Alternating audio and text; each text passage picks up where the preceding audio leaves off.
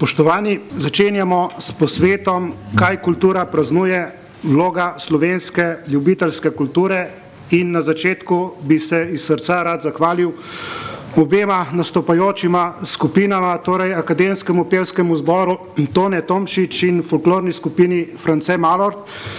So nas razveselili, so nas obdarili in nas lahko zapustijo z dobrim občutkom.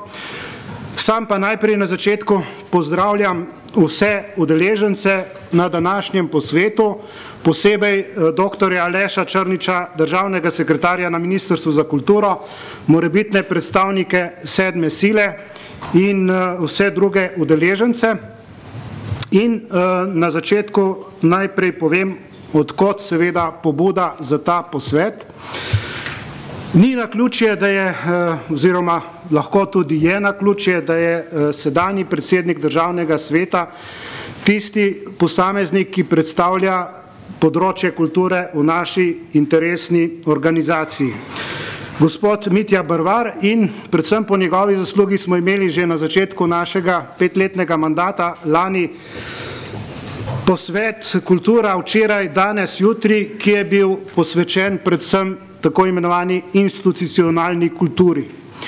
Ker pa je eh, naše splošno prepričanje, tudi seveda mene kot predstavnika vzgoja in izobraževanja, da ljubiteljska kultura ni in ne sme biti manj vredna v primerjavi z institucionalno kulturo, kar recimo na en dan pred kulturnim praznikom, pred obletnico Prešernovega Dneva smrti lahko utemeljim ravno s pesnikovimi besedami, ki, kot veste, dobro pravi v pesmi Slovod mladosti, da le petica, da ime sloveče, da človek toliko velja, kar plača. Se pravi, Vemo seveda, da to je res, da je bilo in bo res, ampak če ne bo tistih sil, med katere sodi seveda tudi ljubiteljska kultura, ki se pa upirajo takemu izključno pridobitniškemu in bi lahko rekli na nek način pogrošnemu pogledu na, tudi na vlogo kulture, seveda kot slovenci, ki nam kultura že dolgo veliko pomeni, mislim, da na dolgi rok ne bomo preživeli. Iz tega razloga smo se odločili, da organiziramo posvet namenjen predvsem slovenski ljubiteljski kulturi in da ne bom predolg, eh, vabim besedi kar gospoda Mitja Brvarja, Mitjo Brvarja, se upravičujem, predsednika državnega sveta. Gospod Brvar, prosim za uvodni nagovor, imate besedo.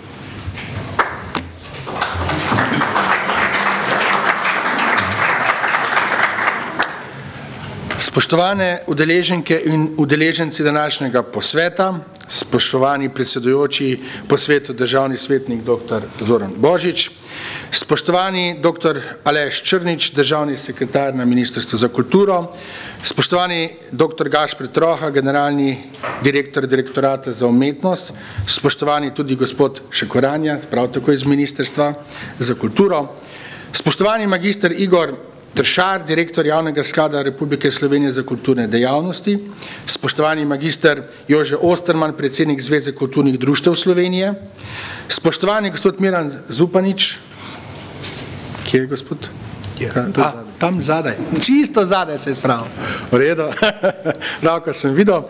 Predsednik Nacionalnega sveta za kulturo, lep pozdrav.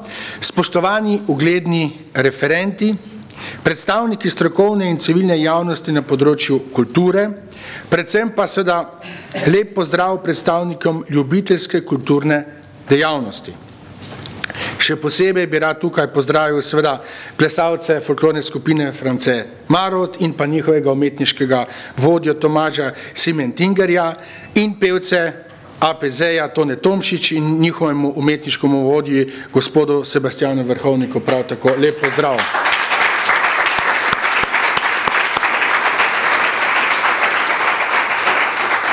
Dovolite mi, da vas seveda ob slovenskem kulturnem prazniku prav lepo pozdravim v dvorani Državnega sveta Republike Slovenije. Lep pozdrav tudi svetniku gospodu Golobu. Ob tej priložnosti se v Državnem svetu Republike Slovenije na posvetu o kulturi srečujemo že drugič zapored in vsakič razpravljamo o položaju kulture na drugačen način. Letošnja obletnica je tudi na nek način jubilejna. Mineva natanko 170 let od prvega natisa zdravice in 70 let od, prvega, od prve razglasitve Preširnovega dne za kulturnega in kot kulturnega praznika. Ljubiteljska kultura živi Slovenci že od nekdaj. Društvena ljubiteljska kultura kot bolj organizirana oblika pa je že skoraj celo stoletje živa. Kultura in kulturna društva so gradila nekako temelje državnosti v prelomnih letih 1848, 1918, 1941 in 1991. Ker nismo imeli države, so državotvorno vlogo na, neko, na nek način prevzeli tudi številni ljubiteljski kulturniki. Sedaj državo imamo, sprašujemo pa se v vlogi kulture. Zanimivo. Delež proračuna za ljubiteljsko kulturo se vztrajno zmanjšuje, trenutne razmere pa tudi ne prispevajo k izboljšanju njenega položaja. Pa vendar se je ljubiteljska kultura v kriznih razmerah že večkrat izkazala kot generator upanja in samozavesti ljudi. Tistih, ki se z njo ukvarjajo v Sloveniji, je v tem hipu 100 tisoč. Združujejo pa se približno v 5 tisoč društvih. Na leto pripravljajo 16 tisoč prireditev in privabijo pol milijona obiskovalcev. Ljubiteljska kultura je zlasti na lokalni ravni generator pozitivnih idej, motor ustvarjalnega druženja ter mednarodnega sodelovanja in seveda tudi medgeneracijskega sodelovanja. Posebej naj podarim, da je ljubiteljska kultura ključni mehanizem, ki učinkovito ohranja slovensko kulturo med našimi zamejci in izseljenci. Vsekakor gre za družbeni kapital, ki viša kvaliteto življenja v celotni skupnosti in to je tista prava, dodana vrednost, ki se jo ne da izmeriti v denarju.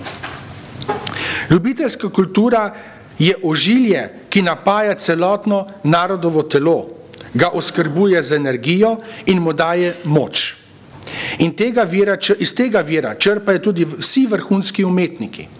Zato se ljubiteljska in profesionalna kultura nikakor ne izključujeta, temveč se dopolnjujeta in imata skupen sinergijski učinek.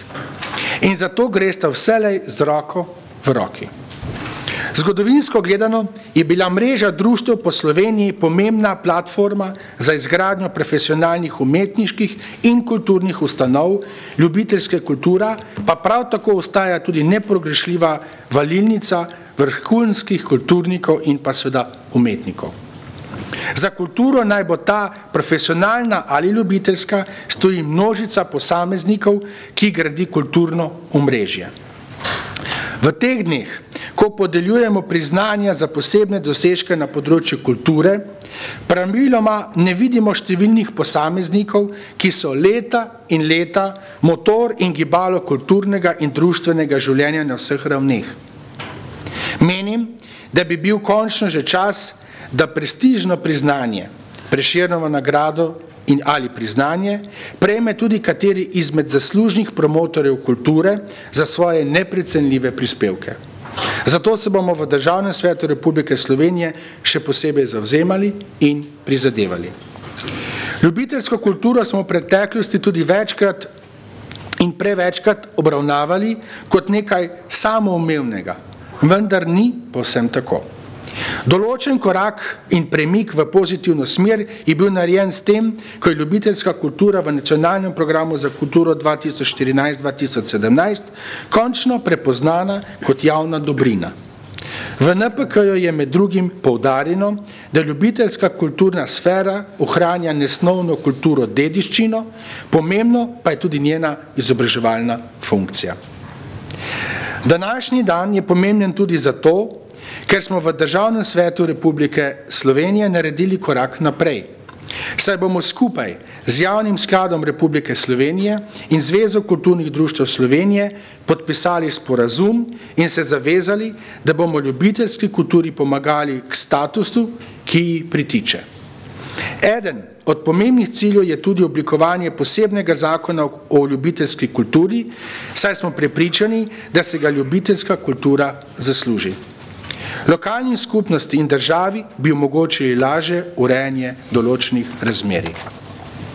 Trenutno namreč ljubiteljsko kulturo ureja zakon o društvih, ki pa skrbi tudi za vsa ostala društva, kot so gasilsko, športno, upokojensko, ki imajo seveda svoje specifike in svojo pomembno vlogo v naši družbi. Prepričani smo torej, da se ljubiteljska kultura zasluži posebno zakonsko obravnavo. Spoštovani, nabor današnjih razpravljavcev kaže, da bomo prisluhnili zelo kvalitetnim strokovnim razmišljanjem, ki bodo služila kot zelo dragoceno izhodišče za nadaljne urejanje področja ljubiteljske kulture. Zahvaljujem se vsem, ki ste se odzvali našemu povabilu in sodelovanju. Dovolite mi seveda, da ob koncu, da vam ob koncu čestitam ob kulturnem prazniku in vam zaželim seveda prijetno strokovno druženje. Sedaj pa vabim seveda magistra Igorja Tršarja, direktorja Javnega sklada Republike Slovenije za kulturne dejavnosti in magistra Jožeta Ostermana, predsednika Zveze kulturnih društv Slovenije, k svečanemu podpisu sporazuma o zavezništvu za kulturo. Hvala.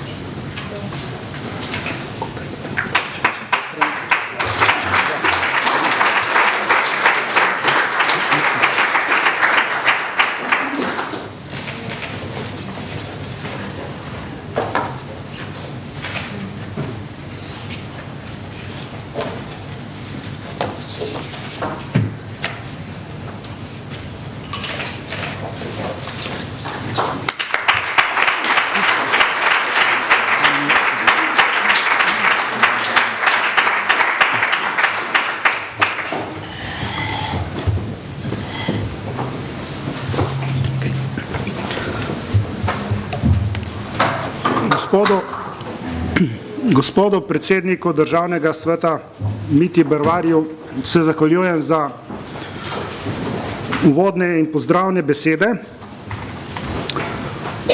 Vsem trem, ki ste lastnoročno podpisali ta sporazum, se zahvaljujem za vaše podpise. Samemu sporazumu pa želim dolgo in plodno življenje. Mogoče eh, ena beseda ali dve, kaj ta sporazum danes sploh pomeni. Torej gre za sporazum o zavezništvu za kulturo med državnim svetom Republike Slovenije, med javnim skladom za kulturne dejavnosti Republike Slovenije in Zvezo kulturnih društev Slovenije. In če povem, kaj je vsebina drugega člena, kar citiram, cilj zavezništva za kulturo je trajnostno razvojna, strokovno poglobljena, geografsko uravnotežena in finančno vzdržna podpora ljubiteljski kulturni dejavnosti v vseh njenih pojavnih oblikah po celotnem slovenskem kulturnem prostoru ter njena promocija v mednarodnem kulturnem okolju. Prehajamo k pozdravnemu nagovoru doktorja Aleša Črniča, državnega sekretarja na Ministrstvu za kulturo, Gospod Črnič, beseda je vaša. Hvala lepa, gospod predsedujoči. Spoštovani predsednik državnega sveta, gospod Mite Brvar, cenjene visoke gostje in gostje, um, govorke, govorci. Naj vas najprej v imenu Ministrstva za kulturo Republike Slovenije prisrčno pozdravim na današnjem posvetu, namenjenem refleksiji položaja in vloge slovenske ljubiteljske kulture. Ljubiteljska kultura ima močno razvit in značilen profil, je prepoznaven del naše identitete. Um, že pogled v čas pred drugo svetovno vojno razkrije, da je njen razvoj povezan s pomembnimi družbenimi premiki. Tedanja kulturna društva so kot nosilci kulturnega in družbenega življenja so se širila ravno zaradi vse večje pismenosti, zaradi enakopravnejšega položaja žensk, zaradi politične pluralizacije. Postavila so temelje marsikateri profesionalni instituciji, naj omenim le gledališči v Kranju in v Celju. Po zaslugi ljubiteljskega udejstvovanja je nekaj desetletij do ponovne profesionalizacije preživelo tudi Ptujsko gledališče. Na podlagi društev je bila med drugim zgrajena tudi današnja knjižnična mreža, ki velja za eno najbolj izpopolnjenih in najbolje delujočih na področju kulture. Vendar ljubiteljska kultura ni zgolj nekakšna odskočna deska za skok v profesionalne vode. Je več kot to. V nacionalnem programu za kulturo 2014-2017 smo vsako od poglavi namenjeno posameznemu področju opremili s sloganom. Pri poglavju v ljubiteljski kulturni dejavnosti smo tako zapisali ljubiteljska kultura, možnost vključevanja vsakogar v kulturno, v kulturno ustvarjanje na celotnem slovenskem kulturnem prostoru. Ukolikor so naši nameni okrepiti dostopnost kulture za slehernega posameznika, iskreni, potem pač moramo priznati, da je v tem segmentu ravno slovenska ljubiteljska kultura, kulturna dejavnost eden najmočnejših adutov in to po obeh plateh medalje. Na tem področju se skozi aktivno članstvo, kot je že omenil gospod predsednik državnega sveta, udestuje kar 100 tisoč posameznikov. Ti na svoje prireditve letno privabijo več kot 2 milijona obiskovalcev. Pomembno je, da se o slovenski ljubiteljski kulturi pogovarjamo na najvišji ravni. Zato toplo pozdravljamo odločitev Državnega sveta Republike Slovenije za organizacijo današnjega posveta. Na Ministrstvu za kulturo si v tem mandatu prizadevamo okrepiti dialog s civilno družbo. Tudi z lastno organizacijo aktivno spodbujamo javne razprave in se ob njih učimo. Zato nam bodo zaključki današnjega dne dragoceno napotilo za razmislek o tem, kako uspešni smo bili pri urisu stanja in dogajanja na tem področju v nacionalnem programu za kulturo. Za razmislek o tem, kje je prostor za morebitne izboljšave, kako v sodelovanju z javnim skladom Republike Slovenije za kulturne dejavnosti bolj programsko profilirati politiko na tem področju, ter kako doseči kar najboljše sinergične učinke. Ali z drugimi besedami, kako še naprej podpirati in spodbujati kulturno udejstvovanje, s tem pa človeško ustvarjalnost samo. Ker je, kot je že pred časom odločno opozoril slovenski pionir raziskovanja ustvarjalnosti Anton Trstenjak, danes majhen narod, ustvarjalen narod ali pa izgine. Hvala lepa.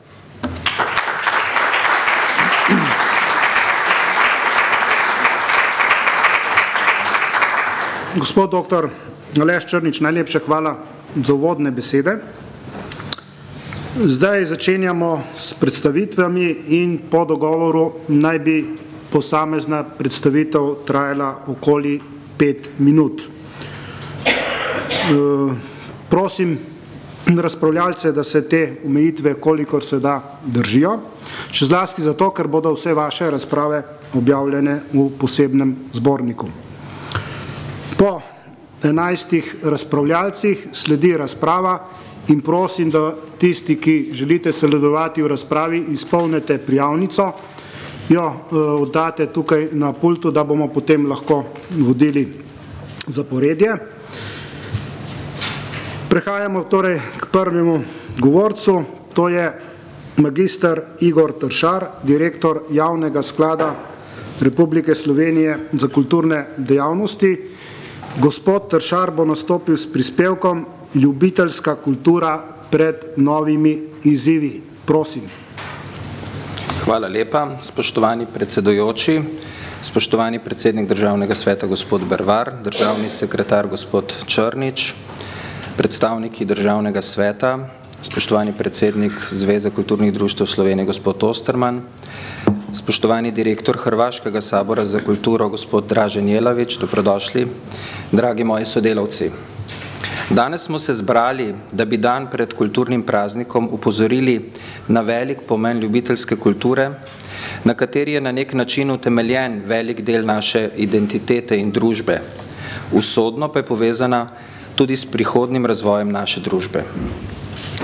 V luči dogodkov zadnjih nekaj let bomo skušali pojasniti, kaj se ta trenutek dogaja z ljubiteljsko kulturo, kako na njo vplivata finančna kriza in krčenje nacionalnega proračuna in kje je potem takem njena prihodnost.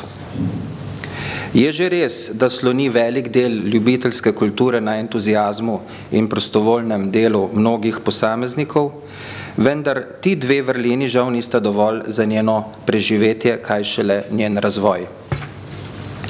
Pred stavbo državnega sveta in državnega zbora nas je med drugim pozdravila godba Bežigrad z dirigentom Jožetom Kregarjem, tukaj dvorani pa še APZ in AFS. Najlepša hvala.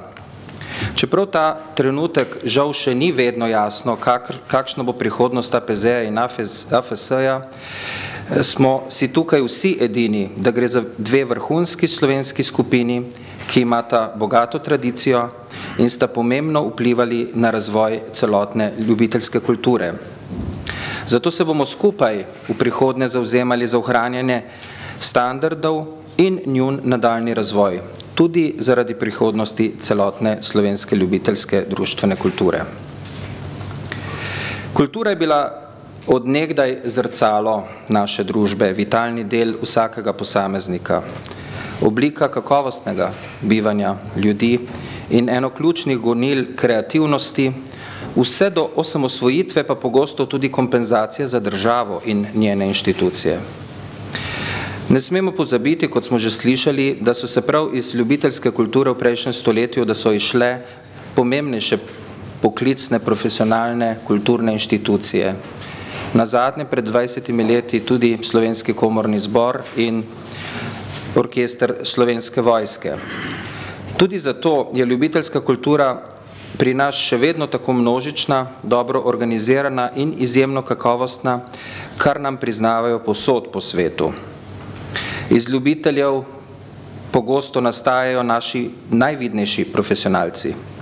Mnogi danes uveljavljeni igralci, filmari, sodobni plesavci, glasbeniki in pisatelji so svojo umetniško pot začeli pod okriljem, pod okriljem kulturnih društev, zvez kulturnih društev in javnega sklada Republike Slovenije za kulturne dejavnosti.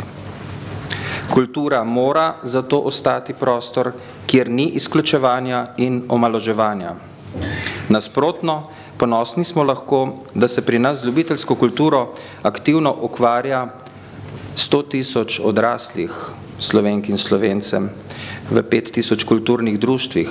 Če k temu prištejemo še 40 tisoč mladih, ki se s podobnimi dejavnostmi ukvarjajo v osnovnem ali srednjem šolstvu, lahko govorimo o devetih odstotkih vseh prebivalcev Republike Slovenije. To je evropski unikum in velika prednost.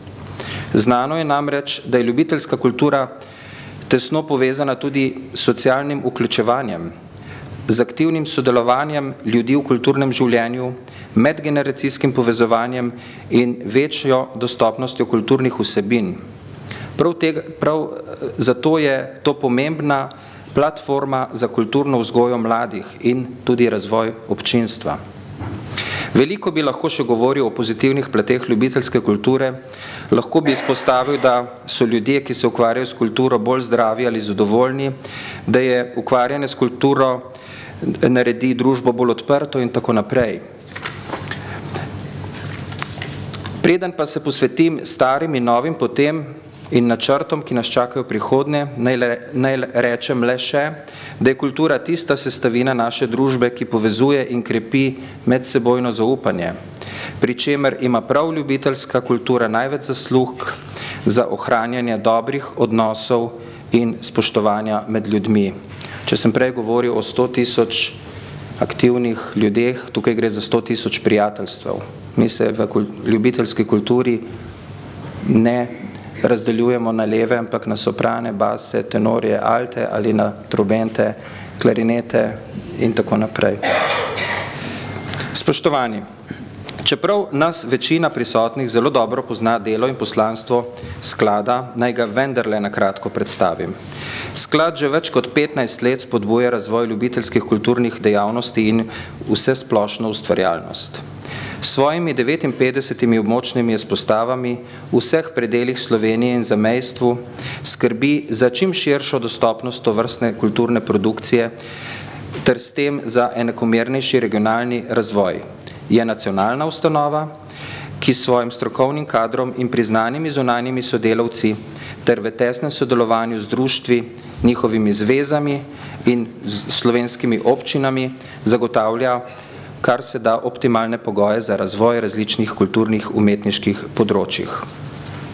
V nekaterih predeljih Sloveniji, Slovenije je sklad edini sistemsko organiziran ponudnik kulturnih vsebin, kar priča o njegovi nepogrešljivi vlogi pri ohranjanju kulturnega življenja tudi v prihodnje. Da bi ustvarjalci nadgrajevali svoje znanje in ga plemenitili, da bi pridobivali nove izkušnje in predstavili kulturne, kulture željnemu občinstvu doma in v tujini, pripravi sklad letno več kot 500 izobraževanj po celi Sloveniji, ki, ki se jih udeleži preko 11 tisoč posameznikov, sklad pripravi skoraj 3 tisoč prireditev, ki jih obišče dobre pol milijona obiskovalcev. Da pa bi videli celotno sliko, moramo k tej številki prišteti še 16 tisoč prireditev, ki jih letno pripravijo kulturna društva in njihove zveze. Ena čudežnih besed današnje družbe, tudi v Sloveniji in predvsem tudi Evropske unije, je povezovanje. Javni sklad temelji na povezovanju.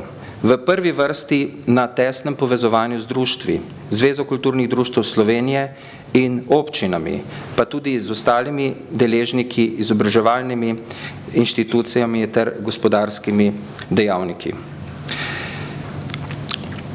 Zato bo naša osrednja naloga še bolj utrditi partnerstva z lokalnimi skupnostmi in zagotoviti ljubiteljski kulturi tudi strani lokalnih oblasti ustrezna finančna sredstva, saj nam v nasprotnem primeru lahko društvena mreža razpade. Ker se na skladu dobro zavedamo pomena in vpliva evropskih standardov in novih pristopov, se bomo tudi v bodoče morali ozerati čez državne meje. V prvi vrsti seveda k svojim rojakom, zamejcem.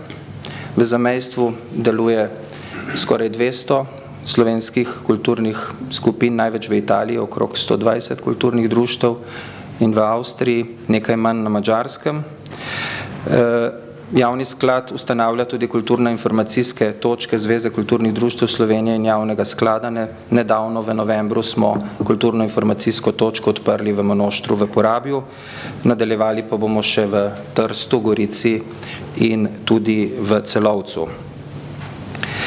Seveda svojo priložnost vidimo tudi v evropskih strukturnih skladih, regionalnem, kohezijskem in socialnem. Torej, kako župane prepričati, da naj bi iz teh skladov več črpali za družbene projekte, ne samo za projekte cest, kanalizacije. Eh, strukturni skladi, v katerih seveda odloča tudi Slovenija, imajo možnosti tudi na družbenem razvoju in tukaj bo naša naloga, da skušamo prepričati oziroma eh, povedati, da je veliko možnosti za nadaljni razvoj Slovenije v teh skladih za razvoj tudi slovenskih občin. Idej, idej za razvoj ljubiteljske kulture je, je veliko, tudi volje in navdiha nam ne manjka. Vprašanje je le, kako ohraniti vse to razvejanost in kakovost, po kateri slovimo v svetu, ko pa se delež javnih sredstev za ta namen iz leta v leto zmanjšuje. Na javnem skladu skladno z novim ZUIKom oziroma z dopolnitvijo ZUIKa pripravljamo nov strateški načrt za naslednje štiriletno obdobje, v okviru katerega si bomo kljub zategovanju pasu prizadevali ohraniti vse ključne projekte in v sodelovanje z drugimi deležniki razvijati nove. Eden teh je že teden ljubiteljske kulture, ki bo letos junija prvič v Sloveniji, ki ga pravkar snujemo in o katerem boste več izvedeli v prihodnih dneh.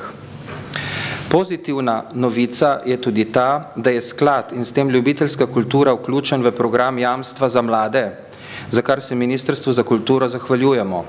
V letu 2014 in 2015 bomo tako usposobili 120 mladih med 15 in 29 letom brezposelnih mladih in sicer s teoretičnimi in praktičnimi usposabljanji za delo v kulturi, tudi v kulturnih društvih. Zato bo program potekal regionalno razpršeno preko območnih izpostav, prek zvez kulturnih društev in seveda preko društev samih. Vlada bo iz evropskih sredstev z neposredno potrditvijo skladu za ta namen zagotovila 400 tisoč evrov v letu 2014 in 400 tisoč evrov dodatno v letu 2015. Sklad bo programe usposabljanja jamstva za mlade izvajal tudi v povezavi, kot sem dejal, z društvi, zvezami in šolami in tudi v povezavi z našim novim študijskim centrom. Dovolite mi še nekaj kratkih besed o novem projektu, o našem študijskem centru.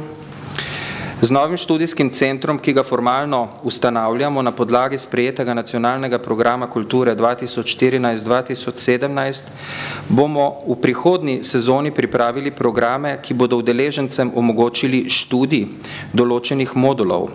Gre za pridobivanje znanja, praktičnih izkušenj in dvig motivacije ter za nov celostni pristop sklada k izobraževanju. To pomeni, da bo študijski center omogočal kontinuirano delo in da zato izobraževanje ne bo več izvedeno zgolj na krajše seminarje ob koncu tedna. S tem bomo zagotovili ustrezno izobraženost kadrov in kontinuiran razvoj dejavnosti. Center bo namreč s svojimi izobraževalnimi vsebinami in v, prihodnost, v prihodnosti tudi s štipendijami omogočal mladim, uveljavitev na področju kulturne ustvarjalnosti, hkrati pa bo skrbel za ustrezno usposobljenost mentorjev. Študijski center bomo povezovali tudi z vrhunskimi ljubiteljskimi skupinami, tistimi, ki doskrat rečem so naši paradni vlečni konji, ki bodo lahko v okviru svojega delovanja in programov usposabljale nove vrhunske mentorje, organizatorje in raziskovalce. Lahko bi še našteval, vendar mi primankuje časa in me priganja. E, zato bi ob tem rekel, da je sklad resnično velika ustanova, ne po številu zaposlenih, kot dosti krat kot direktor slišim, sej vas je zaposlenih sto, ampak tudi po številu in razvejanosti projektov. Ob tem želim izreči zahvalo mojim sodelavcem na centralni službi in območnih izpostavah. Brez skupnega dela in sodelovanja tudi sklad ne bi imel uspehov. Kot direktor si želim, da bi bilo tudi v prihodnje tako. Na koncu bi želel poudariti le še, da je vpliv ljubiteljske kulture na življenje ljudi in stanja duha te družbe zelo velik in vselej pozitiven. Zato je izjemno pomembno, da ne izgubimo te plati družbenega življenja, saj se bo družba sicer še hitreje atomizirala in razkrojila. V kriznih razmerah moramo dodatno paziti, da nam mreža ljubiteljske kulture, ki je rezultat prizadevanj mnogih rodov, ne razpade, saj se lahko hitro znajdemo v kulturni revščini, ki ni nič manj boleča od socialne. In še to, jasno sporočilo Evrope je, da kultura ni samo strošek, ampak dobrina, ki na različnih ravneh generira dobiček. Upam, da bo današnja razprava pokazala več novih poti, ki jih morda doslej še nismo videli. Veseli me, da ste se je udeležili v tolikšnem številu. Hvala.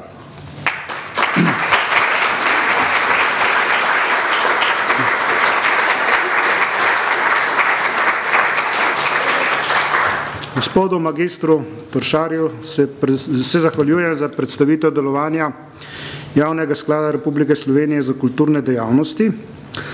Naslednji bo spregovoril profesor Miran Zupanič, predsednik Nacionalnega sveta za kulturo in sicer s prispevkom Kultura kot temelj slovenstva.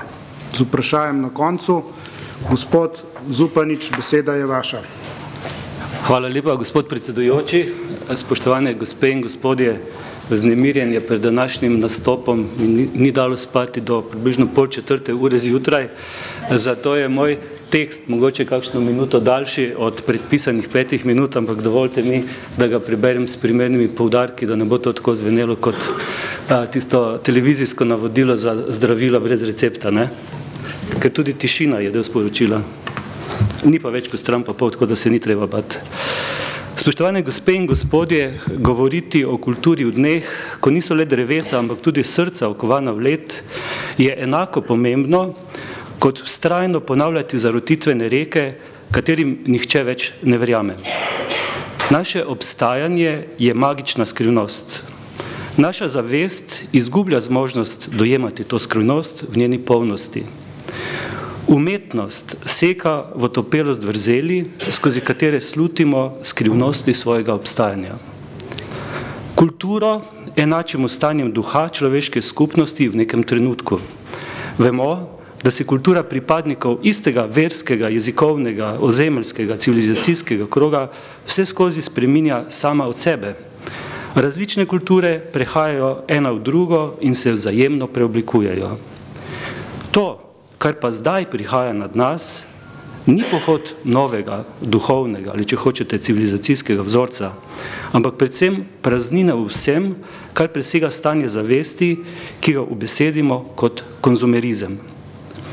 Bo to stanje osvobajajoče se ali pokorjene zavesti?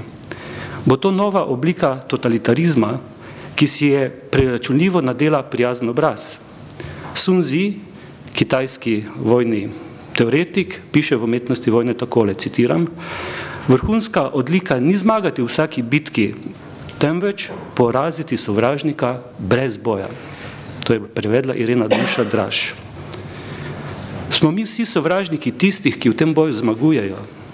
Smo del procesa, v katerem brez boja postajamo poraženci.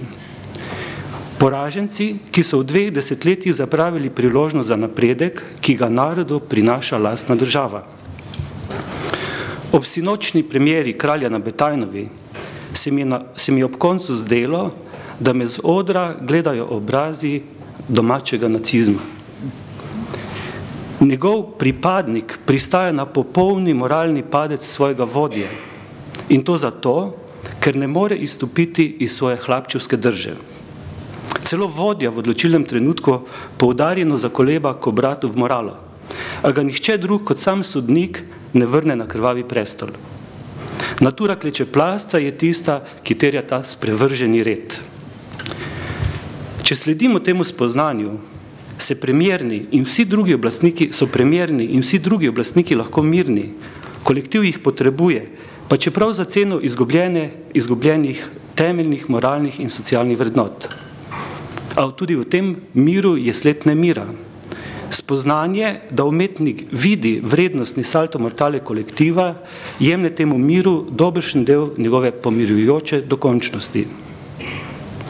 Če je to, kar slutim v svetišču naše dramske umetnosti, živa resnično slovenstva, potem je premjerna oblast videla podobo totalitarizma, ki bo nastopil, če ne pride do moralne preobrazbe celotnega družbenega prostora.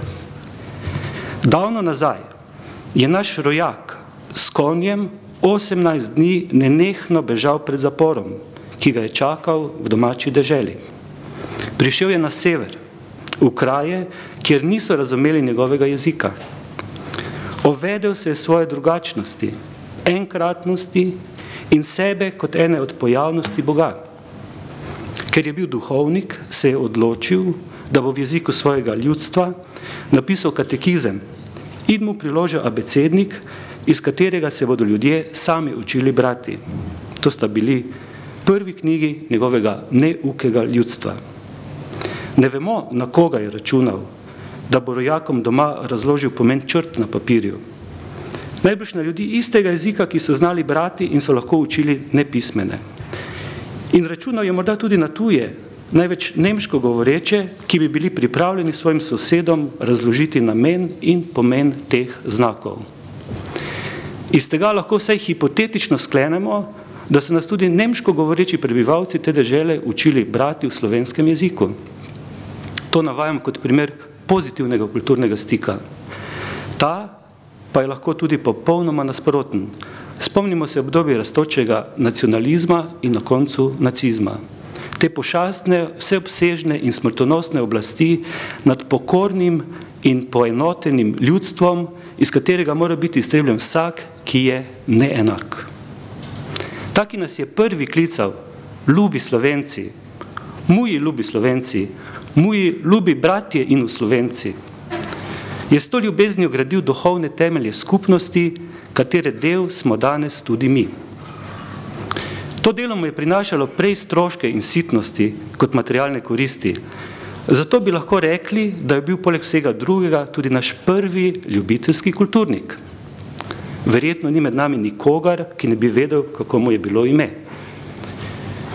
To, kar se mora danes vprašati vsak od nas, poklicni ali ljubiteljski ustvarjalec, je, ali ni že skrajni, skrajni čas, da slovensko pamet odločneje opozorimo na oženje in poplitvenje zavesti, ki jo, prena, ki jo prinašajo prevladujoče družbene prakse.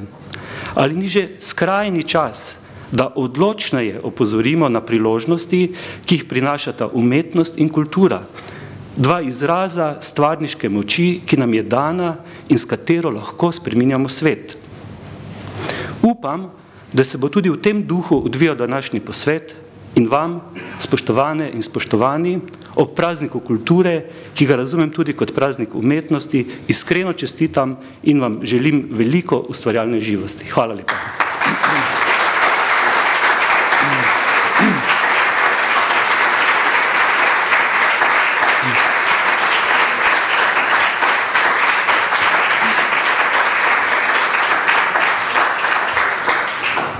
Gospodu profesorju Zupaniču se zahvaljujem za njegov na nek način izvalen prispevek in da ne bo vse skupaj tako formalno, si ne moram kaj, da ga ne bi vsaj s par besedami komentiral. Jaz verjamem, da je danes videti Cankarjevo gledališko igro Kralj na Betajnovi popolnoma v skladu s Šekspirem, da nam kaže Cankar seveda slovencem naš obraz. Ampak, če je sporočilo kralja na Betajnovi seveda globoko pesimistično in uh, govori tudi o narodu hlapcev, uh, svoje strani kot profesor in doktor literarne zgodovine vendarle upozarjam, da je kralju na Betajnovi sledila znamenita Cankareva drama Hlapci, ker še bolj natančno govori o hlapčevstvu, kjer pa vendarle na koncu imamo Kovača Kalandra, ki pravi Jermanu, ki je obipal na koncu, prej nas je bilo, smo bili trije, zdaj nas je sedem antikristov. In uh, Jerman dvigne njegovo desno roko in reče, ta roka bo kovala svet. Se pravi, če kovati svet ne razumemo v negativnem smislu, da tolčemo s kladivom po človeških glavah, pač pa v pozitivnem smislu, da ga spreminjamo, potem bi rekel, da tudi v ljubiteljski kulturi bo prišlo do sprememb, če bo več kalandrov in manj hlapcev. Ne? Se pravi, da je na nas vseh, da spregovorimo javno, da stojimo za svojimi besedami in bo mogoče nekoč bolje. Naslednji ima besedo magister Jože Osterman, predsednik Zveze kulturnih društv Slovenije in sicer s prispevkom za boljšo in preglednejšo organiziranost, za hitrejši razvoj s klicajem in v oklepaju o možnosti uveljavitve ustrezne zakonodaje na tem področju. Gospod Osterman, prosim. Hvala lepa. Hvala lepa, gospod predsedujoči. Bom tudi jaz malo neformalen. Uh, zaustavili smo se pred Cankarju, težko je govoriti za odličnim eh, prispevkom predsednika nacionalnega sveta, pa vendarle bi tudi na svoje izkušnjo povedal. Včeraj smo imeli na Črnučah, to je severno predmestje Ljubljane, odlično proslavo slovenskega kulturnega praznika in z nagovorom nas je počastil akademik dr. Kmecel, ki je pa izhajajo iz naše situacije pa iz Prešerna. Pa dodamo Cankarju še Prešerna in sicer so bili njegovo izhodišče znameniti verzi ko oblast in znočast kot pred spet bosta naša last. Gre za nacionalno čast, gre za čast posameznikov, za čast slovencev in o tej časti govori kultura. Tisti finančni in druge zadrege, ki smo si jih pa zapravili, s čimer smo deloma zapravili tudi čas, so premostljivi. Če pa mi ne bomo seveda dodajali še drugih elementov, to so elementi eh, človeške solidarnosti, vzajemnosti, poštenosti, skromnosti, to je vse to, kar čemu rečemo čast, smo seveda izgubljeni. In kljub temu, da bo ne bo več kovačev, jermanov, ki bi kovali na včas, ampak bojo samo hlapci, ki bodo seveda se udinjali eh, drugim tujim gospodarjem, pa magari so iz Brusla svoje tehnologije, svojim totalitarizmom in drugim, ali pa seveda tudi eh, eh, tistim, ki bodo mogoče prišli iz shoda, ker bojo imeli nekatere dobre ekonomske ponudbe. Mi pa kot taki brez kulture ne bomo več odporni oziroma ne bomo sposobni na kakršen koli odpor. In čast je tisto, čemu sledi kultura in zaradi česa sem uh, izjemno pozoren oziroma ponosen, da sem danes skupaj z vami, ker mislim, da smo vsi ljudje, ki so seveda steplati uh, človeškega življenja. No, ampak vendarle gremo na, nazaj na tisto, čemu sem mislil dati neki pozornosti, to je zakonodaja. Zakonodaja na področju ljubiteljskih kulturnih dejavnosti se seveda človek, ki v tem razmišlja, Eh, sreča s temeljnim vprašanjem. To je pa vprašanje, ki ga postavljajo tudi pravniki ob tako imenovani mnemotehniki nastajanja zakonov. Eno temeljnih pravil je namreč, če nisi prepričan, da bo nekaj treba regulirati ali pa kako naj bi nekaj regulirali, ne reguliraj. To je tisto temeljno pravilo, ki seveda ostaja tudi pred nami, pa vendarle mislim, da je čas uh, in pač uh, življenjska klima v tej družbi taka, da je nekatere stvari treba regulirati zlasti, če si ambiciozen in če si pripričan, da z regulacijo lahko stvari izboljšaš. In mislim, da je ljubiteljska kultura s svojimi kapacitetami, ki so dobre, jaz mi prav vesel naših dveh paradnih konjev, to so bili Maroltovci in pa seveda Ja, Tomšičovci, da so in medijas res predstavili eh, to svojo kvaliteto in dokazali, kako sijajna zadeva je kultura in kako blizu vrhuncu lahko prideš, če si ustrajen, če si talentiran, kljub temu, da mogoče nimaš izjemne izobrazbe in kljub temu, da nimaš časa, da bi 8 ur na dan pač določene stvari delal. In mislim, da je to pot, da ljubiteljska kultura zakonodaja omogoči da se vendarle tisti, ki so najboljši, približajo s podporo odgovornih in zainteresiranim pogojem, ki jim dajo možnosti, da postanejo velike zvezde, v dobrem smislu besede. Zvezda je namreč estradna zvezda je po mojem sicer slaba, eh, bi rekel, opredelitev zadeve.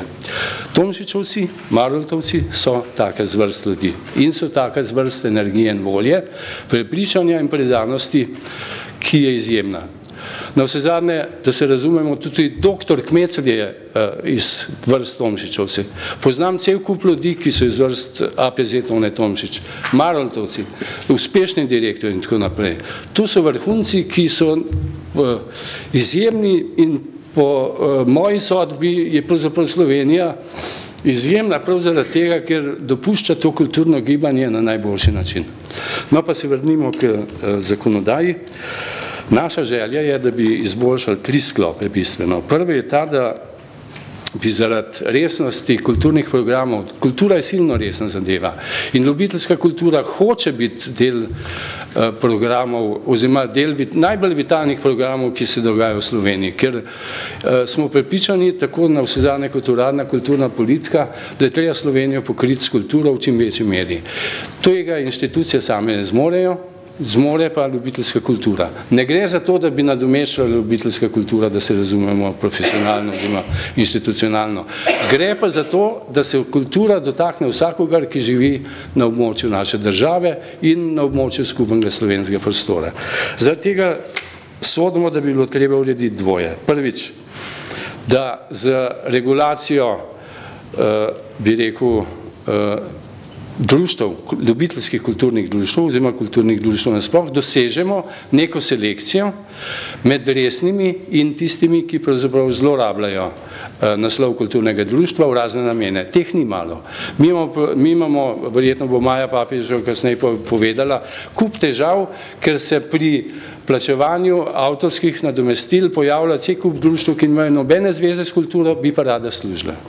Druga zadeva, ta piramida ljubiteljskih kulturnih do, zdruštv deluje dobro samo, če se bo povezava, optimalno. Delom je povezana čez sklad, ki je pa urodje države za to, da se implementira kulturna politika.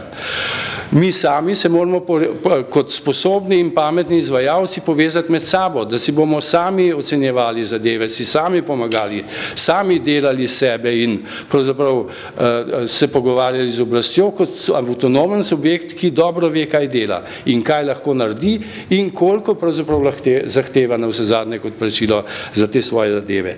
Tretja zadeva je seveda potem implementacija detajlov tega, da se uh, skozi sklad, na to zlasti mislimo v tem hipu, lahko je pa tudi drugače, sami sposobni, da smo sami sposobni, da evalviramo naše dosežke, da si dajemo napotke, da se sami zavezujemo, da se bomo izobraževali, dopolnevali, da bomo inovativni in da bomo res vitalni izvajalci slovenskega kulturnega programa v celoti. Zato bi nakratko povedal samo to, torej bi morali v tem smislu opredeliti področje ljubiteljske kulturne dejavnosti, se pravi vsebine, kot načrtno, kontinuirano, množično organizirano kulturna dejavnost, potem bi morali posebej utemeljiti, tukaj je neznanka največja, ljud, tako imenovano ljudsko kulturo, ki jo pravzaprav šele zdaj sestavljamo, je pa verjetno del, bistven del ljubiteljske kulturne dejavnosti, ki jo ne pokriva malo ne nihče drug, To bi morali predeliti kot živ oziroma nesnovni del kulturne dediščine, ki se simultano odvija kot spontana ustvarjalnost, tvornost posameznikov in skupin, Potem bi morali opredeliti ljubiteljsko kulturno društvo kot izvajalc kontinuirane in sistematične kulturne tvornosti z jasnimi atributi društvenega povezovalnega delovanja na nepoklicni in neprofitni osnovi po možnosti v čim bolj interdisciplinarnih sekcijskih oblikah. Četrta naroga bo opredelitev sistema sodelovanja z državnimi ustanovami, predvsem JSKD, in vzpostavitev javne evidence eh, ljubiteljskih kulturnih društv, kajti ta javna evidenca se zaradi specifičnih zahtev bistveno eh, razlikuje od registra društv pri upravnih enotah oziroma ministrstvu za notranje zadeve. Peta ključna zadeva ali pa pomembna zadeva je samo evalvacija in evalvacija programov in na njeni osnovi določen izvajalcev najvišje kvalitete. Šesta je določitev bolj obvezujočega razmerja do lokalnih skupnosti in obveznosti lokalnih skupnosti glede na kriterije ustanavljene v občini oblikovani lokalnih kulturnih programov, kjer je novi zakon že nekaj obveznosti dodal, to pozdravljamo, in kjer bodo znani tudi kalkulativni elementi za ljubiteljsko delo. Mi ne zahtevamo, da se razumemo denarja v hipu, da bo treba pač po nekih kalkulativnih elementih to eh, delati, denarja ni, to se vsi zadmenamo, je pa dobro, da vsi vedo, koliko je to kulturno delo vredno in da potem vedo, če pač denarja ni, ga financirajo, ampak vedo, da bo treba v naslednjih letih bodi si mandat, ker pa mislim, da ne bo ravno pogosto slučaj, ponavadi pa bo treba dati nekoliko več, da bi lahko ljubiteljska eh, kulturna društva dosegala pogoje, v katerih delajo optimalno. Naslednja je vprašanje kar najbolj izenačenega pristopa države in lokalnih skupnosti do vrednotenja kulturnih programov. To je pravzaprav posledica tega, kar sem rekel prej. Naslednja je povezovanje in sklevanje programov ljubiteljske kulture v zvezah društv, ki so smotrno organizirajo tako, da teritorijalno smiselno odgovarjajo na organiziranosti lokalne samouprave oziroma države in v zvezi s tem odgovornost društv in zveza zagotavljanja kakovosti programov ljubiteljskih kulturnih društv. Deveta je status vrhunskosti, določiti status vrhunskosti posameznih izvajalcev in določene prednosti, to pogojno sicer, pri razpisih, pri pridobivanju javnih sredstev, potem določiti res tiste temeljne osnove kriterijev za financiranje vrhunskih ljubiteljskih kulturnih programov, potem uh, določiti sicer zelo nasplošno, ampak vendarle, kulturna društva in njihove povezave, kriterije za delo, pristojnosti društv, zvest njihovih razmerij do JSKD in nadzor statutarnega delovanja, ki je zelo pomembno, da se ne zlorablja funkcijo kulturnega društva, ter ocenevanje, stalno ocenevanje programskega delovanja. In še zadnjič, pomembno, 12. Eh, točka, strokovno izobraževanje, schema internega izobraževanja mentorjev, umetniških vodij in dopolnilnega izobraževanja sistema spričevalo oziroma diplom. Z kulturnega ministrstva so nam, to je pa lepa gesta, eh, pred kulturnim praznikom ravno včeraj javili, da so naše pobude sprejemajo, da se jim zdijo pozitivne in mi bomo nadaljevali z uh, tem delovanjem oziroma oblikovanjem naše zakonodaje. Verjamem, da je zdajšnja ekipa na Ministrstvu za kulturo že uh, izjemno odprta za dialog, uh, že dolgo, mislim, da pa temu kar dolgo sledim, že ni bilo ekipe, ki bi bila tako uh, pripravljena prisluhniti pač pobudam in to se kaže, da se razume tudi nacionalnem programu, ki je bil sprijet. Verjamem, da je epizoda z Marltom in pač Tomšičem pač slučajno, jaz sicer ne odobravam, da se ministrstvo v tako veliki meri, da ste se funkcionarji odrekali uh, neposrednemu tolmačenju kulturne politike in tudi svojim diskrecijskim pravicam, pa vendarle vse skupaj izbuja upanje, da bomo mi kot uh, aktivni udeleženci tisti, ki bomo narodovi časti lahko prispevali več in da bomo uspešni. Hvala lepa.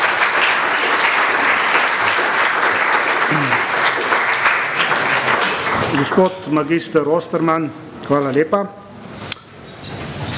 Verjetno ni na ključje, da je beseda kultura ženskega spola, na današnjem posvetu so o njej govorili izključno moški. Zato mi je posebno čast, da najavim gospod Alenko Bole Vrabec, prvo današnjo damo, univerzitetno diplomirano dramsko igralko in književno prevajalko, mislim, da mirno lahko rečem, da je gospa Alenka Bole Vrabec eden od stebrov ljubiteljske kulture na Gorenskem. In gospa Alenka Bole Vrabec bo za govornico spregovorila uh, s prispevkom, ki ima naslednji naslov, v soglasju vse generacije s klicajem Gospa Alenka, prosim. Hvala lepa. Prihajam iz sredine, iz društva, ki ima štiri sekcije.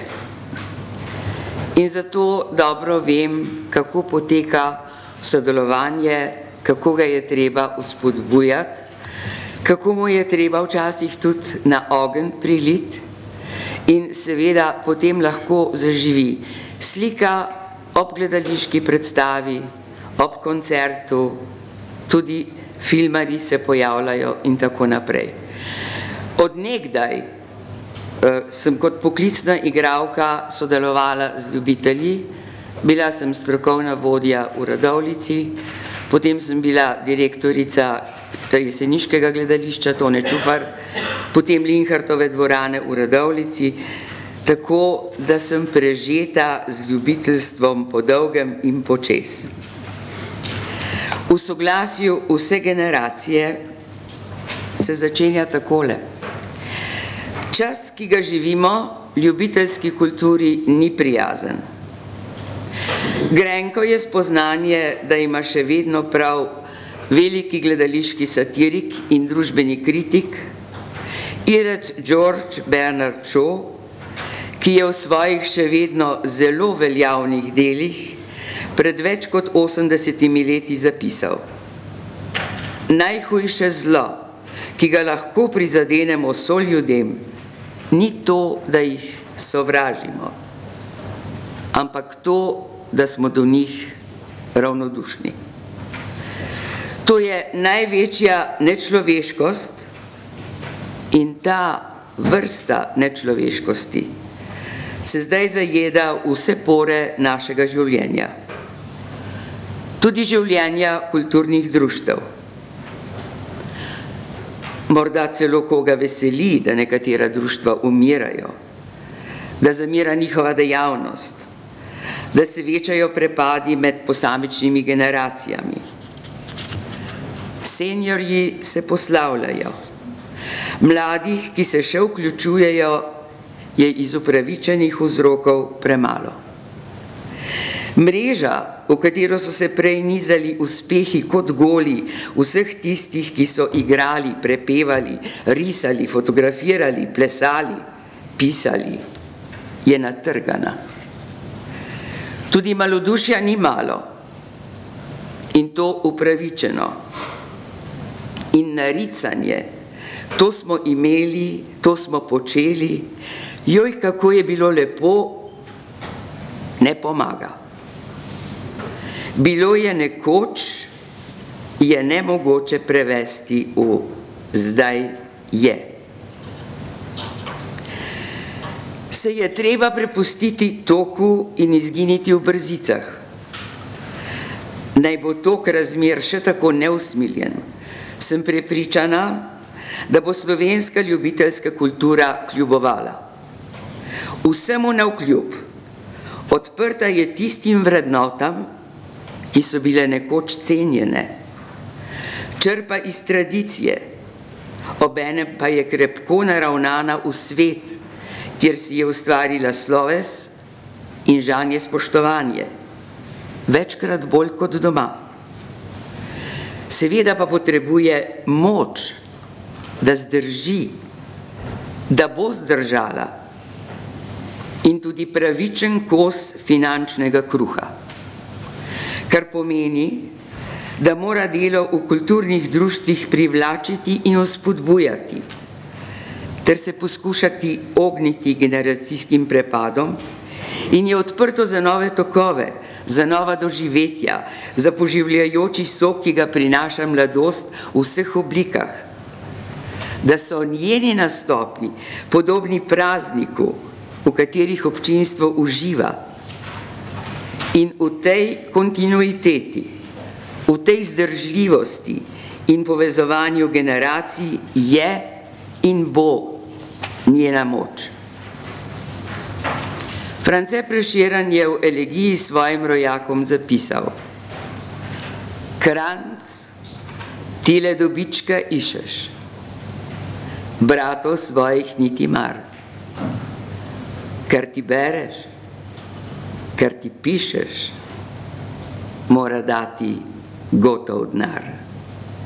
Ker ni tu je zaničuješ, starih šek se zgublja sled. Pevcev svojih ne spustuješ, za dežele čast si let.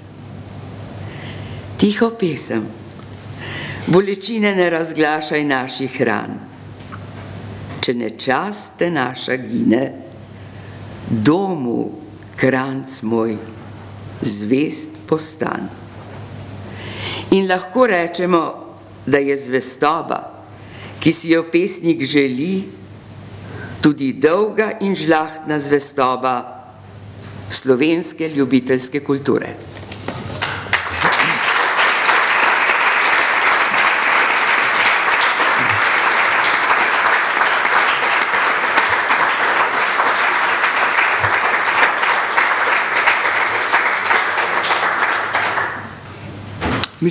Mislim, da smo ob tem kratkem in sjajnem nastopu ob prazniku slovenske besede vsi resnično uživali. Opozoril bi na uh, pomembno razsežnost ljubiteljske kulture, bodi si, da gre za pevski zbor, za simfonični orkester, za karkoli drugega, še zlasti kot dolgoletni profesor na srednji šoli, ki opazujem, kaj se čas dogaja z mladimi. Gospa Vrabec je seveda rekla, problem je najti stik med generacijami. Ta vest se mogoče trga. Ampak, če pogledate, imamo tudi celo vrsto pozitivnih primerih, ker ljubiteljska društva dobivajo in pritegnejo mlade. In zakaj je to tako dragoceno? Veste, da na nek način živimo v virtualnem svetu. Če ponazorim, imate eh, mlade ljudi, srednješolce, pa tudi osnovnošolce, ki imajo recimo na Facebooku 1500 prijateljev. To pomeni, da v resnici nimajo niti enega. Če pa se udeležijo eh, katerekoli oblike ljubiteljske kulture, se seveda družijo v živo. In to je tisto dragoceno in to je treba spodbujati. Naslednja, naslednji ima besedo gospod Tone Urbas, predsednik Zveze slovenskih godb in sicer s prispevkom Zveza slovenskih godb, varuh in znanilec godbenih zvokov. Trenutno ga še ni, torej bomo preskočili, ni nobenega problema. Gremo k naslednji dami, to je gospa Marjeta Pečarič, pomočnica direktorja javnega sklada za projektne naloge in sicer nam bo predstavila svoj prispevek z naslovom Kulturna vzgoja in projekt Kulturna šola. Prosim. Hvala. Uh, delujemo v času in prostoru, kjer se življenjska doba podaljšuje in se v interakciji prvič v zgodovini srečujejo štiri generacije. Živimo dlje in pojavljajo se nove oblike medgeneracijskih socialnih omrežij. Vprašanje, ki si ga zastavljamo, je, ali znamo poiskati in izkoristiti prednosti teh novih povezav, ter zagotoviti pretok znanj in izkušenj, ter predvsem, kaj storiti, da bo življenje vseh akterjev bolj kvalitetno in bo vse življenjsko učenje vsem dostopna stalnica oziroma način življenja. Veliko odgovorov na ta vprašanja ponujata kultura, kultura in kulturno-umetnostna vzgoja, Kulturno-umetnostna vzgoja kot vzgoja za ustvarjalnost lehrnega posameznika in razvoj njegovih sposobnosti in jo kot eno izmed temeljnih načel kulturne politike opredeljuje tudi resolucija o nacionalnem programu za kulturo za obdobje 2014-2017 v 7. in 14. poglavju, sprejeta konec lanskega novembra in javno objavljena na pomenljiv datum 3. decembra. Ministrstvo za kulturo in Ministrstvo za izobraževanje, znanost in šport pa sta kulturno-umetnostno vzgojo opredelila kot dolgoročni cilj slovenske kulturne politike in izpostavila pomembnost partnerskega odnosa na tem področju.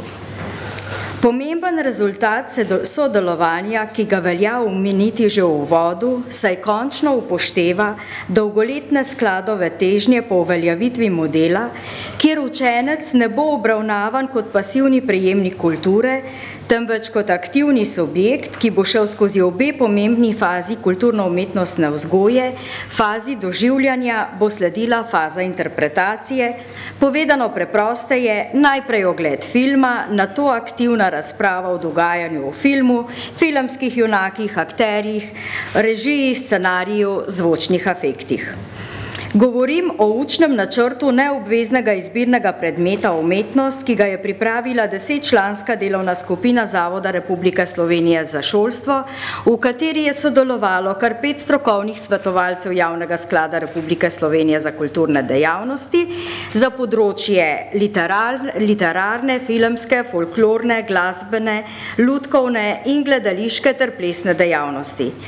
Izbirni predmet, ki se bo začel izvajati v prihodnem šolskem letu, je konec lanskega leta potrdil strokovni svet Republike Slovenije za splošno izobraževanje.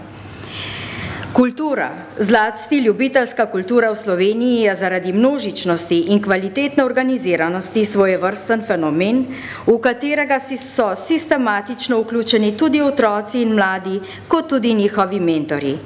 In glede na zgore izpostavljeno dejstvo o uvedbi novega, sicer za začetek neobveznega izbirnega predmeta umetnost, bodo v bodoče našli mesto tudi v šolskem kurikulu, kar nas na skladu nekako navdihuje z neko večjo mero optimizma, kot smo jo bili vajeni doslej. Kot mentorji in strokovni vodje z vsemi temi ustvarjalci delajo številni formalno izobraženi strokovnjaki. Vodje skupin, mentorji in člani pridobivajo znanja in kompetence iz vseh področji v obsežnih strokovno zastavljenih programih seminarjev, tečajev, delavnic in šol, ki jih večinoma pripravljamo na javnem skladu Republike Slovenije za kulturne dejavnosti. Slovenski kulturni prostor pojmujemo kot polje odprte komunikacije, sproščene ustvarjalnosti in celovite kulturno-umetniške vzgoje za trajnostni razvoj. Presek kulturno-umetnostne vzgoje vseživljenjskega učenja in ljubiteljske kulture zaradi navedenih dejstev v Sloveniji daje rezultate, ki se odražajo v številnih projektih in in živahni dejavnosti. Ta kultura, ki druži ljudi, omogoča kvalitetno preživljanje prostega časa, širi socialne mreže, nadgrajuje znanje, ponuja nove izkušnje, razvija kreativnost preko sistemov mentorstv, selektorjev, omogoča prenos in ohranjanje znanja, vrednot, tradicije. Skratka, igramo pomembno vlogo družbenega integratorja in predstavljamo način življenja posameznikov in skupin. Vse to pa je potrebno negovati že pri najmlajših, zato na javnem skladu približno polovico vseh svojih izobraževalnih oblik in prireditev strokovnimi selektorji namenjamo otrokom in njihovim mentorjem. Ena izmed pomembnih tovrstnih aktivnosti je združena v tako imenovani projekt Kulturna šola, ki ga nacionalni program za kulturo postavlja na pomembno mesto v poglavju kulturno-umetnostni vzgoji, katerega bom podrobneje predstavila v nadaljevanju. Temeljne značilnosti projekta Kulturna šola je sledeč. Kulturna šola je nekako kompleksen projekt, primarno namenjen obšolskim dejavnostim iz področja kulture v osnovnih šolah.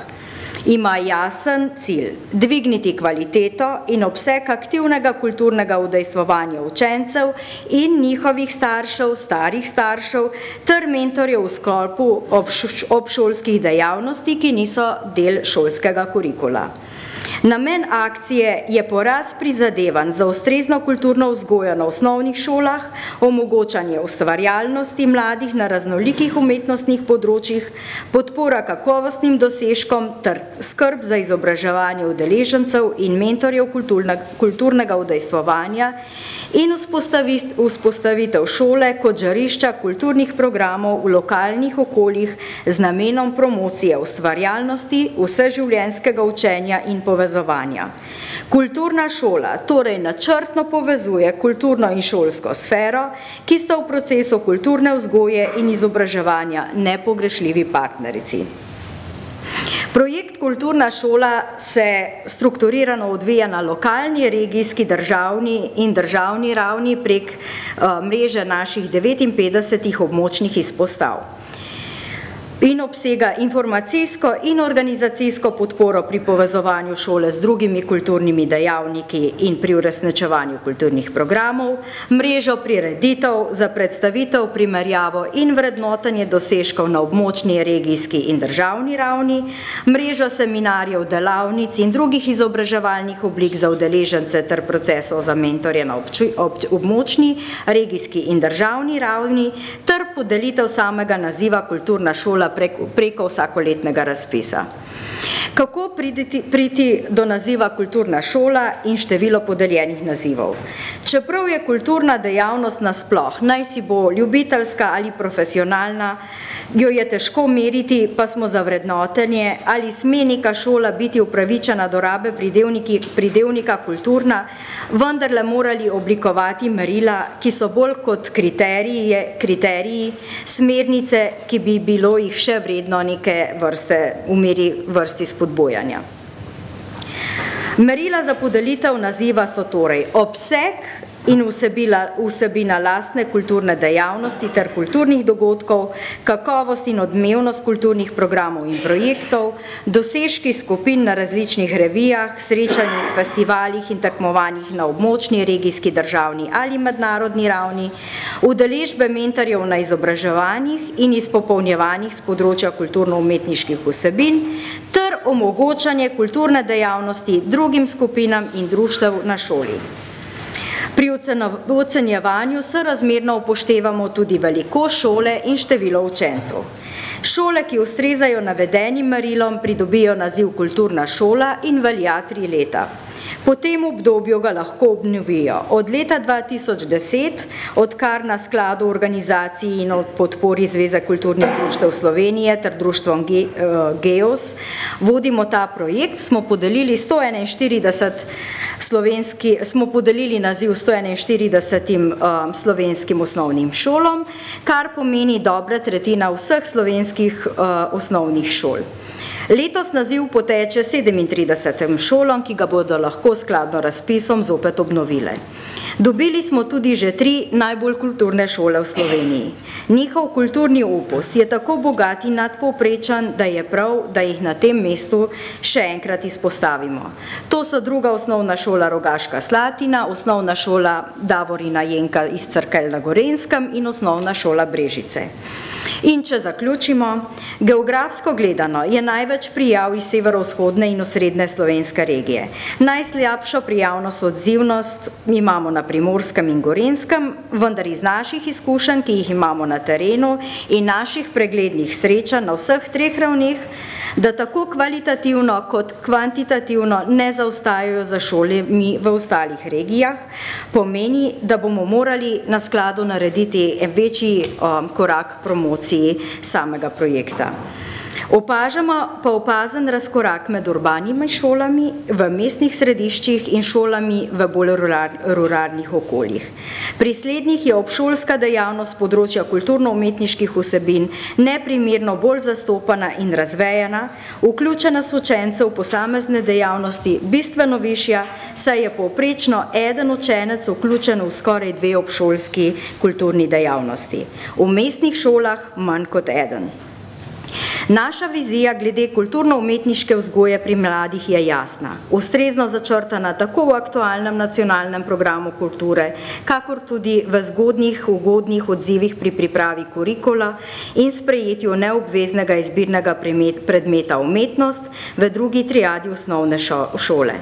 Končno bodo tudi folklorna, fotografska, filmska, plesna, literarna, gledališka in lutkovna dejavnost dobile mesto znotraj učnih vsebin in to na način, da bodo ustvarjale pogoje, kjer bodo učenci obravnavani kot aktivni subjekti in aktivni soustvarjalci kulture na šole.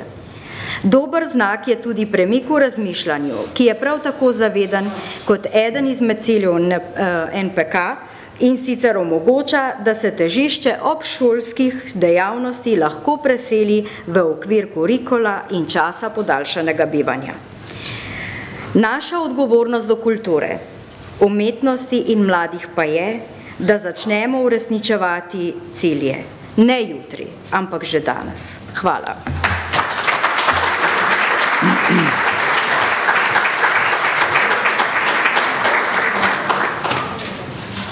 Gospa Pečarič, hvala lepa. Govornici vabim magistro Liljano Kozlovič, predsednico Zveze kulturnih društev Koper. Spregovorila nam bo o družbeni vlogi ljubiteljske kulture in Zveze kulturnih društev. Gospa Kozlovič, prosim. Torej, prisrčen pozdrav vsi spoštovani in pozdrav seveda tudi iz primorskega konca in Zveze kulturnih društev.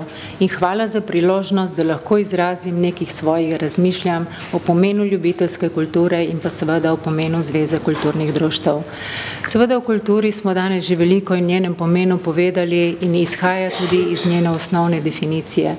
Gre za eno najpomembnejšo človeško dejavnost in predstavlja celotno njegovo ustvarjalnost, tako na materialnem kot tudi na duhovnem področju. Na materialnem področju zato, da zagotovimo človeške potrebe, medtem ko na duhovnem področju pa predstavlja jezik, religijo, znanost, filozofijo, običaje, pravila vedenja, predvsem pa vrednote. In mislim, da so te najpomembnejše, kajti prav kultura je tista in vrednote, po katerih se nek narod prepoznava in identificira.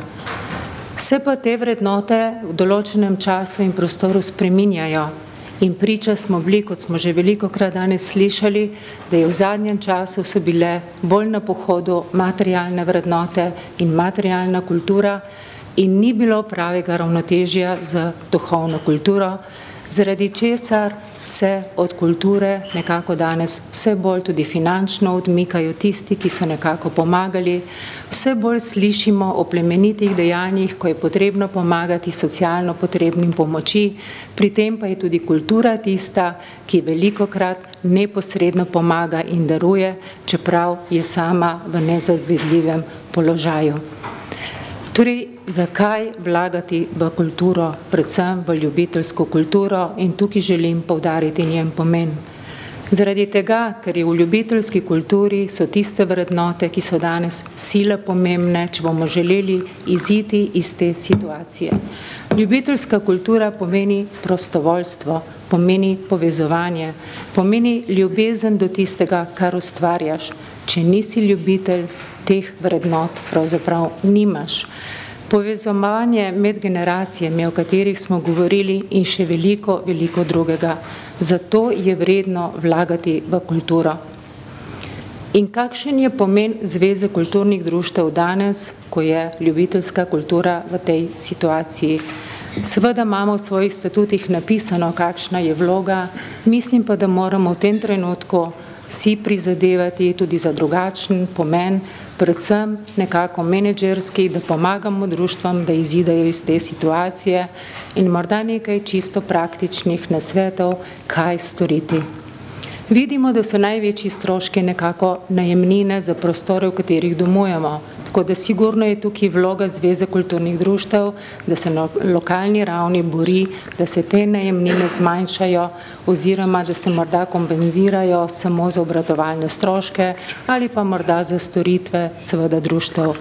Nadalje so seveda tudi velik strošek predstavljajo prostori, kjer se želimo predstavljati in tu je tudi naša vloga, da našim društvom omogočimo in se borimo, da dobijo poceni oziroma zastojn prostore, kjer se lahko predstavljajo. Stroške predstavljajo obratovalne stroške še druge storitve, kot so računovodske storitve, bančne storitve in vrsto teh storitev. In tukaj mislim, da je tudi vloga Zveze kulturnih društev, da išče cenejše ponudnike in jih morda kot neki obliki javnega naročila, kjer nekako znižuje ceno, to ponudi svojim društvom.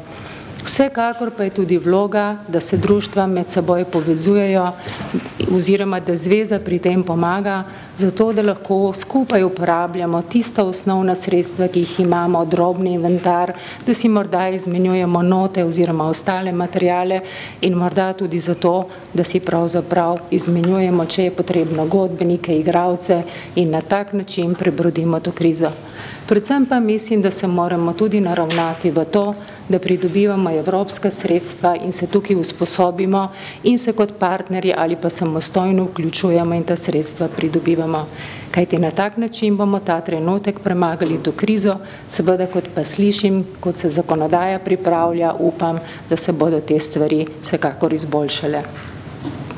Želim spregovoriti morda še o dveh drugih pomenih Zveze kulturnih društev, o katerih je bilo danes tudi govora. Eden je zagotavljanje kulturnega relativizma. Naš prostor, slovenski prostor, kot je že gospa pred menoj povedala, je trenutno v njem sobivajo štiri generacije. Bili smo različno vzgojeni. Poleg tega je ta naš prostor trenutno tudi zaradi globalizacijskih procesov izredno multikulturen. In mislim, da lahko, če ni pravega povezovanja tako med generacijami in kot tudi med različnimi kulturami, lahko pride do antagonizma in tudi določenih nasproti. In mislim, da je prav Zveza kulturnih društev tudi tista, ki si mora v svoje programe izredno zapisati in skrbeti za to povezovanje med vsemi temi kulturami in doseči tisti relativizem, ki bo zagotovil, da bodo pravzaprav vse enako spoštovane in med seboj enakopravne. Poleg tega, kot eno najpomembnejšo nalogo in vlogo Zveze kulturnih društev vidim v zagotavljanju kakovosti kulture. Tudi o tem je bilo danes govora. Res so bile na pohodu ekonomske vrednote in zaradi tega je vse nekako podvrženo zabavi, šovu, nekako izpraznjeno. In tudi naša društva in ljubiteljska kultura se srečuje s tem, da so seveda bolj obiskane tiste prireditve oziroma tisti trenutki in dogodki, ki so nekako temu podvrženi. Res so društva svobodna v svoji odločitvi in ustava jim zagotavlja, da se sama odločajo, kako se bodo organizirala, kako bodo delovala. In res mislim, da so pri ustvarjanju oziroma pri ponujanju umetnosti odgovorni družbi. In mislim, da je Zveza kulturnih društv tista, ki je prav, da jih opozori, da dokler so znotraj sebe, so seveda samostojni, ko pa stopijo pred javnosti na oder, so seveda družbeno odgovorni. Kaj ti kulturo, ki jo prenašajo, prenašajo pravzaprav vrednote in so oblikujejo celotno družbo in pa identiteto tega naroda. In morda samo še na koncu, ker je danes naslov tega posveta, kaj kultura praznuje. Mislim, da praznuje svojo nesmrtnost. In vse, kar smo danes slišali, mi daje upanje, da dejansko bo tako. Hvala.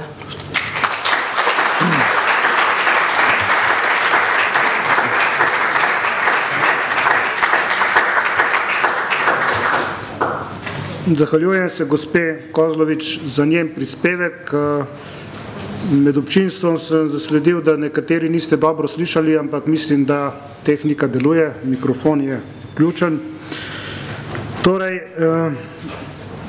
besedi vabim gospoda Tomaža Simetingarja, umetniškega vodjo akademske, prej sem to izpustil, folklorne skupine France Marold, ki bo nastopil s prispevkom o poziciji reprezentativnih društev ljubiteljske kulture. Gospod Simetinger, upam, da sem pravilno naglasil, izvolite. Hvala lepa, spoštovani in spoštovane. Gospod predsedujoči, priimek je bil pravilen. Hvala lepa. Torej, dan pred našim kulturnim praznikom se pravzaprav postavlja vprašanje, kako je poskrbljeno, kako je poskrbljeno za reprezentativna društva v ljubiteljski kulturi. Gre za tista društva, ki so pravzaprav v vlogi, kot temu rečemo, vrhunskih kulturnih ponudnikov, za katere pa zagotovo velja ena stvar in sicer država, ki daje nek denar za kulturo in potem neka produkcija, ki prihaja ven iz te kulture, zagotovo je ravno pri ljubiteljski kulturi znano to, da je tega denarja najmanj, produkcije pa največ. Se pravi, to razmerje pri ljubiteljski kulturi je zagotovo daleč v prid ljubiteljski kulturi, še posebej pa to velja za vrhunske, vrhunska društva in pa za reprezentativna društva ljubiteljske kulture. Mislim, da smo si tukaj tako z ministrstvom kot z ostalimi pravzaprav enotnega mnenja. Kar lahko povem oziroma kaj naj izpostavim, je seveda Problematika teh dveh društev, ki smo jih danes tukaj že videli, torej Akademske folklorne skupine France Marold in pa Akademskega pevskega zbora Tone Tomšič.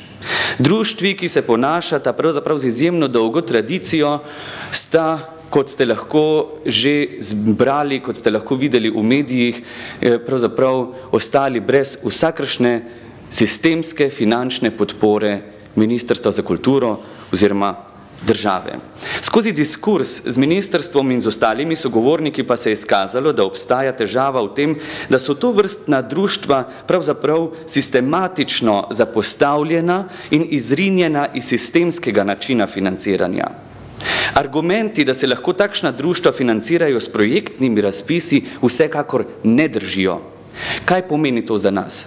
To pomeni za nas, da smo mi prisiljeni popolnoma razdrobiti program, da smo prisiljeni delati neke manjše projekte, ki so finančno pravzaprav minimalno podprti in iskati neke druge vire, tako da je v bistvu tukaj nemogoče govoriti, da je to pravzaprav enako, enakomerno financiranje preko programskih ali pa preko projektnih razpisov. Naj samo omenim, Razpis, ki bo šel oziroma je šel ven za folklorno dejavnost na Slovenskem je težak 28 tisoč evrov, nanjo se prijavi okrog 200 folklornih skupin. Za, za pevsko dejavnost 58 tisoč evrov za 500 pevskih zborov. Razdelite, koliko je to denarja na posamezno društvo in koliko denarja lahko potem neka reprezentativna skupina iz takšnega razpisa dobi. Številke so tukaj več kot jasne. Druga zadeva, ki jo nam zelo radi rečejo, pojdite pa na trg. Kdor je dober na trgu, ta bo na trgu preživel. Žal moram povedati, da enačenje takšne skupine, kot je APZ Tone Tomšič, ni to enako nekemu neke ljubiteljski oziroma pravzaprav moram reči neke zabavni glasbi, ki se lahko na trgu preživi, ki bo šla lahko, ne vem, v Stožice ali pa na nek stadion in prodala uh, ta stadion. To se da narediti, ampak ne za APZ Tone Tomšič.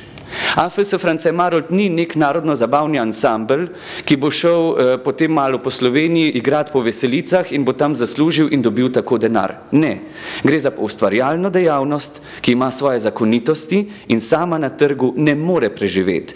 Veste pa vsi, ki ste v ljubiteljski kulturi, da dejansko se vsi še kako trudimo dobiti ta denar iz trga. Danes v tem pomankanju denarja ne dobiš plačila niti za avtobus, ko se boš nekam odpeljal. Kaj šele za honorar?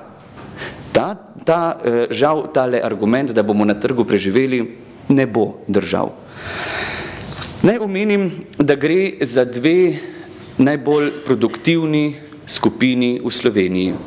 Samo lansko leto je AFS France Marold eh, postavil 22 novih odrskih postavitev.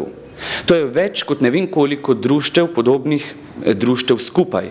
Več kot je prej ne vem koliko let AFS France Marold postavljal svojega programa. Gre za lastno produkcijo. Prav tako ne izpostavim APZ Tone Tomčič. Gre za enega izmed tistih zborov, ki naroča največ novitet pri slovenskih mladih in že uveljavljenih eh, dirigentih oziroma skladateljih. To pomeni, se pravi, odtegnitev finančne podpore takšnim društvom pomeni ne samo, da tako društvo ne more delovati, to pomeni, da je dejansko se pozna na koncu tudi pri teh in skladateljih in mladih koreografih in še kje drugje. Takšna društva, kot je APZ Tone Tomšič in AFS France Marold, So društva, ki so neločljivo upeta v nek širši mehanizem ljubiteljstva. Se pravi, tukaj ne gre samo za to, da mi ne bomo mogli delati. Gre za to, da imamo med nami vrsto pevcev, vrsto plesalcev, ki bojo postali skladatelji, ki bojo postali pevci, ki bojo postali zborovski dirigenti, ki bojo postali koreografi, ampak brez podpore države, meni je zelo žal, mi lahko se še tako trudimo, tukaj nikakor ne bo šlo. Tukaj moram izpostaviti še eno vprašanje kulturne politike. Po, eh, na vsak način neko podpiranje alternativne kulture je pravilno in jo javno izrekam, da je to prav.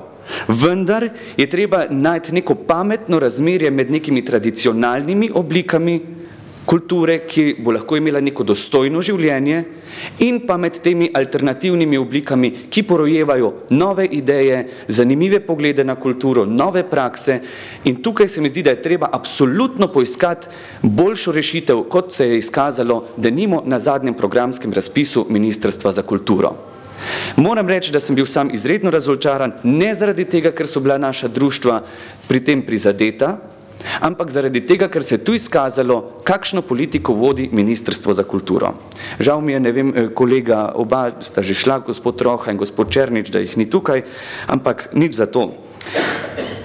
Še eno pomembno stvar, ki jo je treba izpostaviti. Izpostaviti je treba tudi to. Prej smo povedali, imamo okrog 5000 društev na slovenskem. Okrog 100 tisoč odraslih, ki delajo v teh društvih. Samo nekaj je reprezentativnih skupin, ki pa pravzaprav moramo nastopati v, v, v tej masi petih tisočih društev in v bistvu zelo pogrešam to, kar, se, kar sta že kolega prej nakazala, to stratifikacijo, da se vendarle nekje pozna neka vrhunska produkcija, da se vendarle s tem omogoča potem neko lažje financiranje in sistemsko financiranje takšnih društev in pa posledično tudi eh, delovanja takšnih društev. Ne povem, Tako APZ Tone Tomšič kot AFS France Marold sta zagotovo društvi, ki imata poseben socialni status. Zakaj? Vsi zelo radi govorimo, danes smo parkrat slišali, da gre za društva, kjer se zbirajo mladi. Vsi podpiramo mlade. To je ranljiva skupina družbena.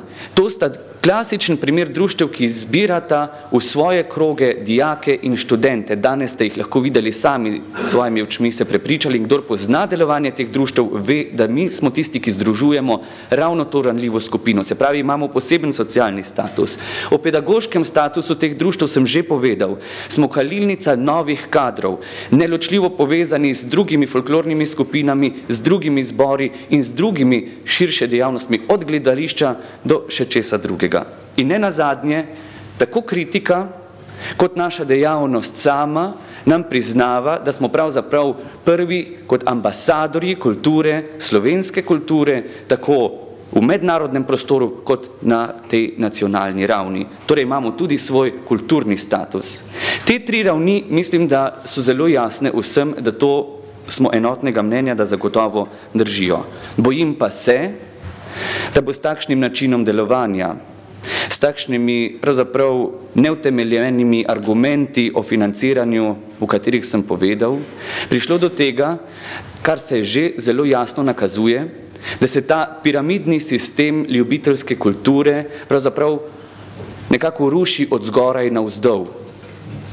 Skrajno finančno podhranjenost teh ljubiteljskih a vendarle reprezentativnih in vrhunskih društev, kot omenjeni dve, to ne pomeni samo ukinjanje teh dveh društev, ampak pomeni napad na celotno ljubiteljsko kulturo. Spoštovani in spoštovane, danes smo kar nekajkrat že slišali razne cankarje, preširne in tako naprej, vendar se mi vse čas pojavlja v mislih ena zadeva in sicer znana tista preširnova, ki ne velja vedno za vse, vendar zagotovo pa velja za ti dve društvi, o katerih sem povedal več. Slep je, kdor se s petjem, s plesom ukvarja. Kranjec mojmu osle kaže, pevcu, plesavcu vedno sreča laže. On živi in umrje brez denarja.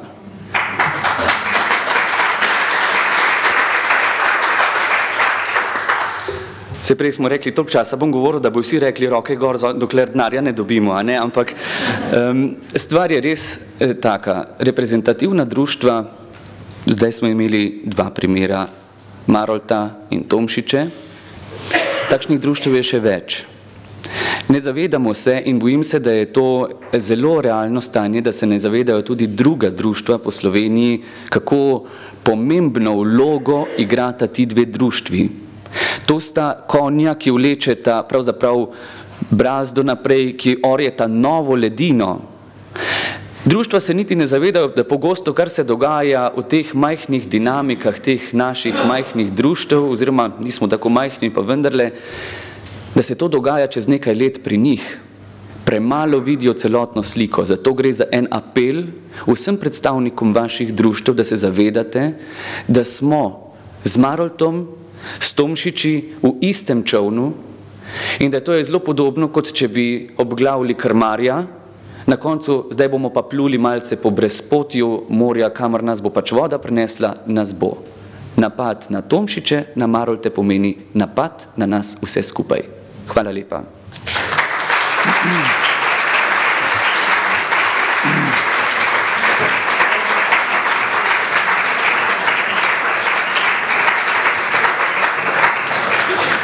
Hvala lepa.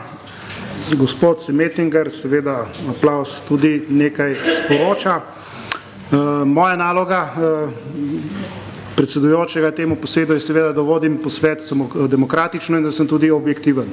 Vendarle eh, bom rekel dve besedi kot predsednik Komisije za kulturo, znanost, šolstvo in šport državnega sveta, se pravi izrazito tudi osebno. Po televiziji sem slišal utemeljitev predstavnika ministerstva, žal imamo res eh, od treh, zdaj trenutno samo še enega, da so eh, akademskemu pevskemu zboru Tone Tomšič oduzeli, mislim, da 70 tisoč evrov za to, ker pač upada njihova kvaliteta. Če primerjamo ti dve reprezentativni skupini, kot je povedal gospod Semetinger, in jo štejemo kot enakovredni po kvaliteti in sklepamo, da akademski, akademska folklorna skupina France Marold ima uh, vrhunskega govorca, ki je hkrati umetniški vodja. In če je on vrhunski govorec, sklepamo, da so tudi vrhunski plesalci, lahko rečem, da utemeljitev ministrstva ne drži in ker smo simbolično gostili na začetku današnjega posveta obe skupini, mislim, da smo s tem tudi povedali, da se kot državni svet s to odločitvijo, s to potezo ministrstva ne strinjamo. Se opravičujem za to.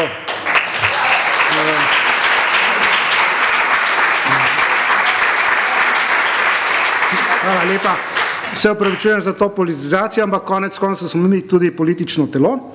No in prehajamo k gospodu Mirčetu Ivanovskemu, predsedniku Makedonskega kulturnega društva Makedonija iz Ljubljane, ki bo spregovoril o delovanju Makedonskega kulturnega društva Makedonija Ljubljana in o njegovem komuniciranju z javnostmi. Gospod Mirče Ivanovski, prosim. Moje ime je Mirče Ivanovski. Pred 37 leti sem prišel tukaj v Ljubljani študirati.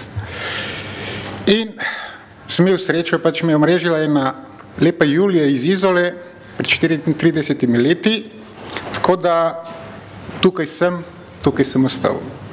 V imenu Makedonskega kulturnega društva in v svojem imenu vas lepo pozdravljam.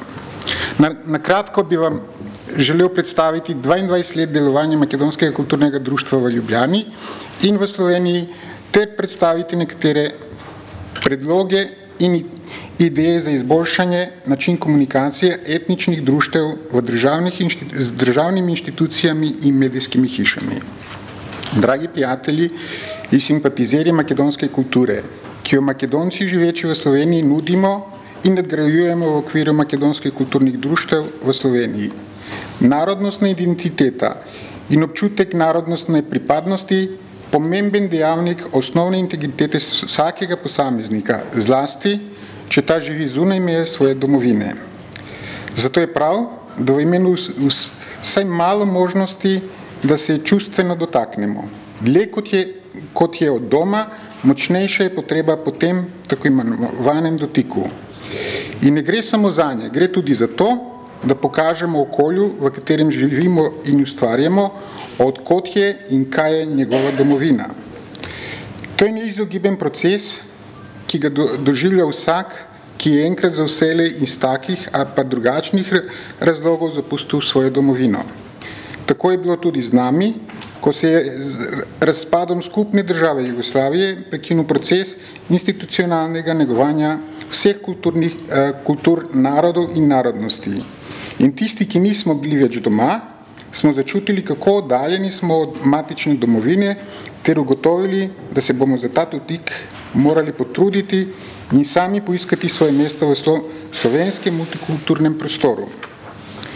V letu 1991 nas je bilo takih, ki smo v Republiki Sloveniji študirali in delali in dosegli osebne in delovne uspehe, ki jih je bilo vredno predstaviti javnosti ter povedati da Makedonija in Makedonci nismo samo dobra hrana, dobro vino in dobra družba, temveč, da imamo tudi nekaj več. Imamo resurse, s kateri smo se in se še vedno potrebujemo doma in po svetu. Že pred nastankom samostojne Slovenije smo se nekako spontano družili in srečali ob kavi in kozarčku v gostilni Rio v centru Ljubljane, kjer je bil naš delovni kotiček.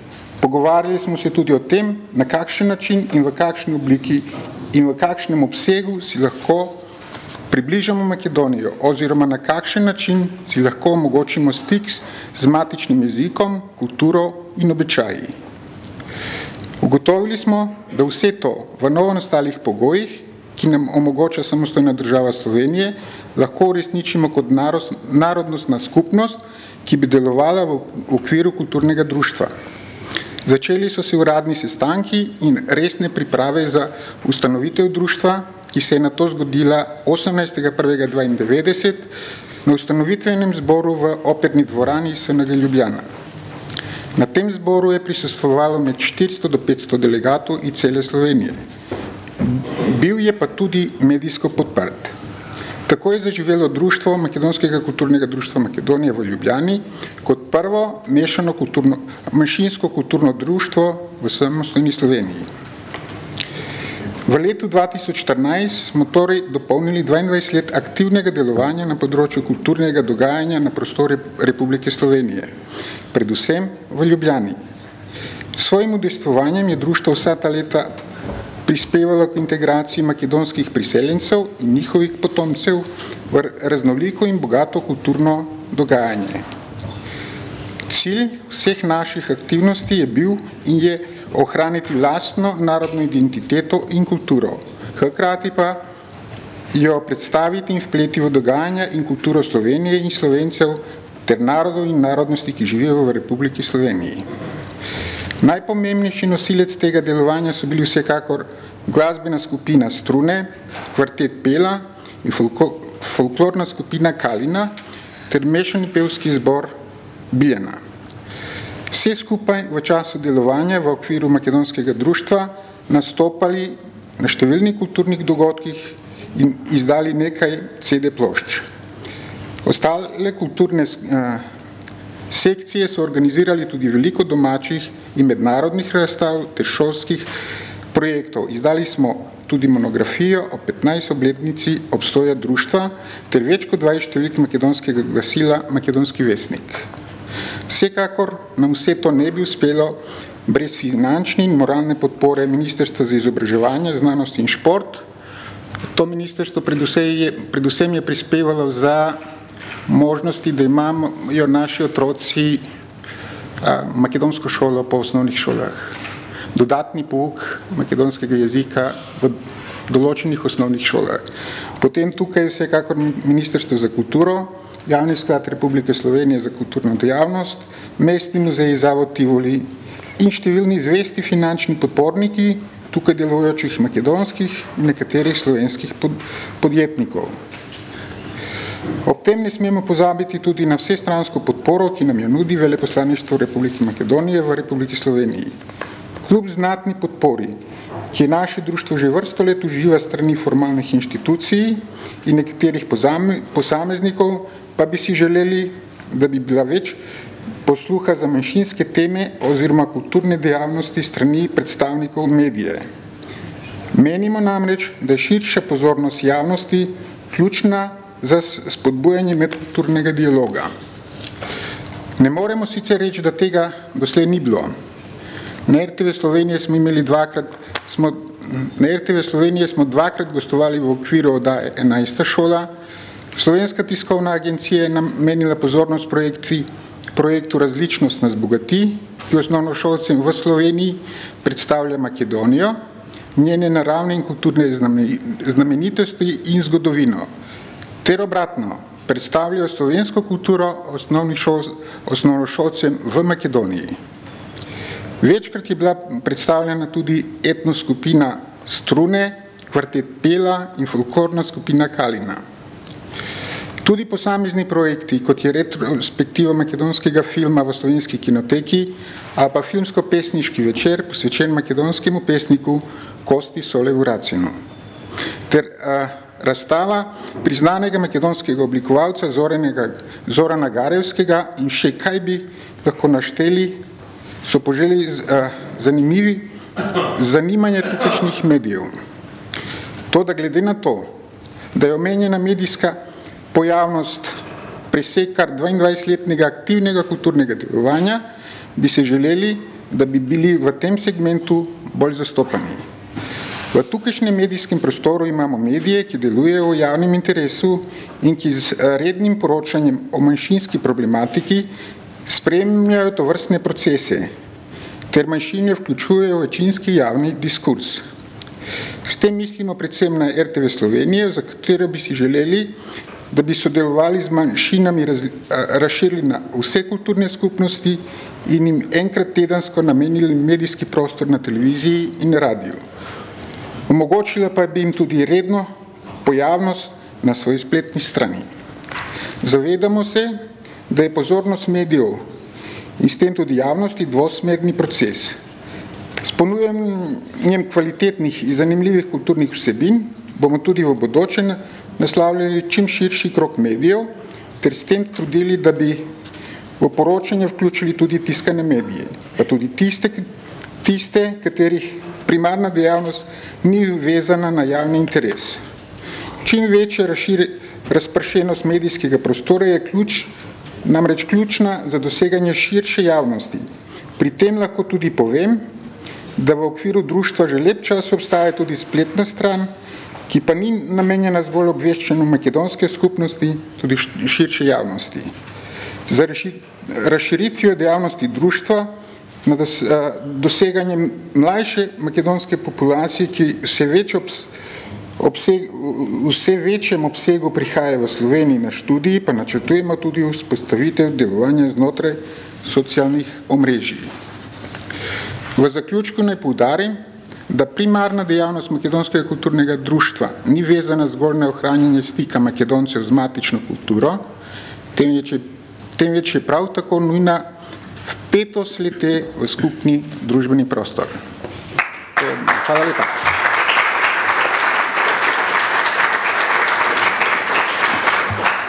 Gospod Ivanovski, najlepša hvala.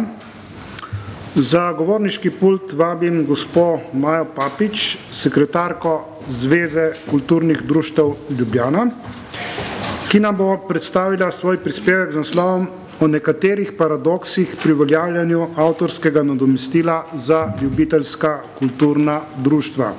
Gospa Papič, izvolite. Hvala, gospod predsedujoči. Lepo pozdravljam tudi vse vas v dvorani. Torej, SAZAS, Javni sklad za kulturne dejavnosti, Zveza kulturnih društv Slovenije, Zveza kulturnih društv Ljubljana in pa Zveza društv upokojencev Slovenije so združenjem SAZAS podpisali skupni sporazum o uporabi glasbenih avtorskih del iz repertoarja združenja SAZAS v obliki javnega izvajanja glasbe v okviru kulturne dejavnosti, ki jo izvajajo kulturna društva in upokojenske kulturne skupine. Sporazum je bil objavljen 24.1. v uradnem listu, veljavo pa stopi 8.2.2014. Po tem sporazumu imajo torej kulturna društva in upokojenske kulturne skupine določene ugodnosti in olajšave, ki jih določata četrti in peti člen sporazuma. Da bi pa društva lahko uspešno koristila te olajšave, pa morajo s SAZASom skleniti individualno pogodbo. Torej, to konkretno pomeni, da recimo, če ima nek pevski zbor letni koncert, na katerem je vstop prost, potem SAZAS najprej določi tarifo na osnovi veljavnega pravilnika, ki znaša 110 evrov in potem se od te osnove odštevajo popusti, znesek na koncu znaša tako 68 evrov, Torej, to pomeni, da se osnova uh, zmanjša za 40 odstotkov. Prireditev za stopnino se obračunava drugače, osnova je 10% od inkasa oziroma dobička od prodanih vstopnic, recimo, da je to 500 evrov, po skupnem sporozumu kulturno društvo plača 346 evrov, torej 30% manj. Enkrat na leto pa so društva oproščena plačila nadomestila za avtorski honorar, vkolikor je prireditev brez zastopnine. Če pa je za vstopnino, je potrebno prošnjo za oprostitev plačila nasloviti na upravni odbor Združenja SAZAS. Tukaj se pojavljajo namreč težave, ker nekateri organizatori pod krinko kulturnih društev zapakirajo koncerte znanih glasbenih zvest in potem hočejo imeti enake ugodnosti in olešave iz tega sporazuma kot vsa ostala ljubiteljska društva. Potrebno je pa tudi podariti, da so se pogoji plačevanja avtorskih nadomestil za kulturna društva z novim sporazumom poslabšali, torej prvi sporazum je bil podpisan leta 2011 in je potekel leta, konec leta 2013. Ljubiteljska kulturna društva se sprašujejo, zakaj sploh plačevati avtorska nadomestila za prireditve, ki so brez vstopnine, torej brez dobička. Ob tem se seveda dobro zavedamo, da je avtorje potrebno podpirati, vendar pa je sodeč po izkušnjah žal tako, da večina avtorjev, ki skladajo recimo za belske zbore, dobi nekaj deset evrov na leto od Sazasa, torej to so predvsej nizki honorariji. Obenem pa avtori brez izvajalcev ne obstajajo. Eh, prav tako je paradoksalno, da za prireditve ljubiteljskih kulturnih društv veljajo iste tarife kot za vse ostale pridobitne organizacije. Glasba je temeljna dejavnost pevskih zborov, ljudskih pevcev, pihalnih orkestrov in ne zgolj mašilo oziroma sredstvo, ki oplemeniti neko javno prireditev. Torej, če strnem na kratko v treh sklepih. Spremembe so potrebne na zakonodajni ravni. Eh, tudi zato, ker nam reč SAZAS trdi, da zakon o avtorskih in srodnih pravicah onemogoča, da bi v sporozumu obstajal člen, ki bi omogočil prosto plačila prireditev za vstopnino. Eh, prevetriti bi bilo potrebno tudi pravilnik o javni priobčitvi glasbenih del, kjer bi ljubiteljska kulturna dejavnost imela posebne tarife za prireditve za vstopnino, prireditve brez vstopnine pa uprostiti plačila. SAZAS bi moral uporabnike obravnavati glede na naravo prireditev, ki jih izvajajo.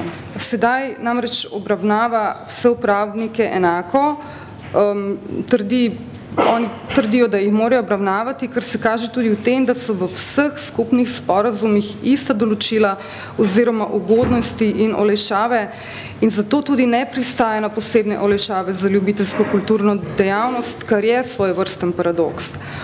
Narava prireditve, ki jo izvaja neko turistično društvo ali občina ali pa recimo neka druga organizacija, ki je mogoče pri, bolj pridobitno usmerjena, ni enaka prireditvi pevskega zbora, kateremu je glasba temeljna dejavnost in brez katerega avtori ne obstajajo.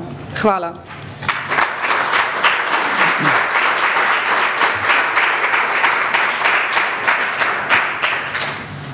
Gospa Papič, najlepša hvala. Glede na to, da med nami ni zadnjega govorca, to je magistra Francija Pivca, predsednika nadzornega sveta JSKD in predsednika Zveze kulturnih društv Maribor, ki naj bi nastopil s prispevkom vloga lokalnih skupnosti pri razvoju ljubiteljske kulture. Začenjamo kar z razpravo. Prosim, da se držite omejitve petih minut in k govorniškemu pultu vabim najprej Ivanko, gospo Ivanko Mulec Ploj, ki je predstavnica glasbene matice Ljubljana. Goska, gospa Ploj, prosim, imate besedo.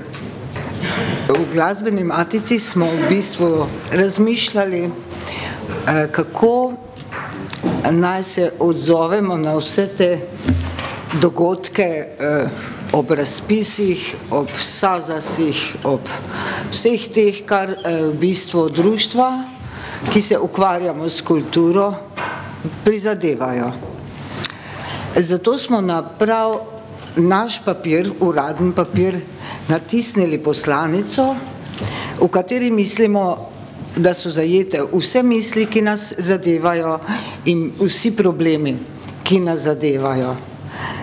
Eh, ker sem prosila, da bi to dobili tudi razdeljeno, eh, upam, da ste prebrali, da je glasbena matica Ljubljana, lahko trdimo, najstarejše glasbeno društvo na slovenskem, eh, ki je praznovala pred dvema letoma 140 let.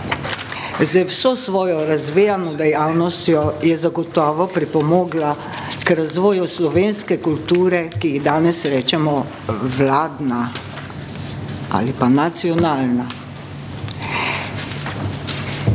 Mi, ki se trudimo spoštovanja naših prednikov in spoštovanja do njih nadaljevati to krasno tradicijo, smo tudi društvo, nevladno društvo in prav tako zelo odvisni od vseh dotacij, ki jih pridobivamo na razno razne načine.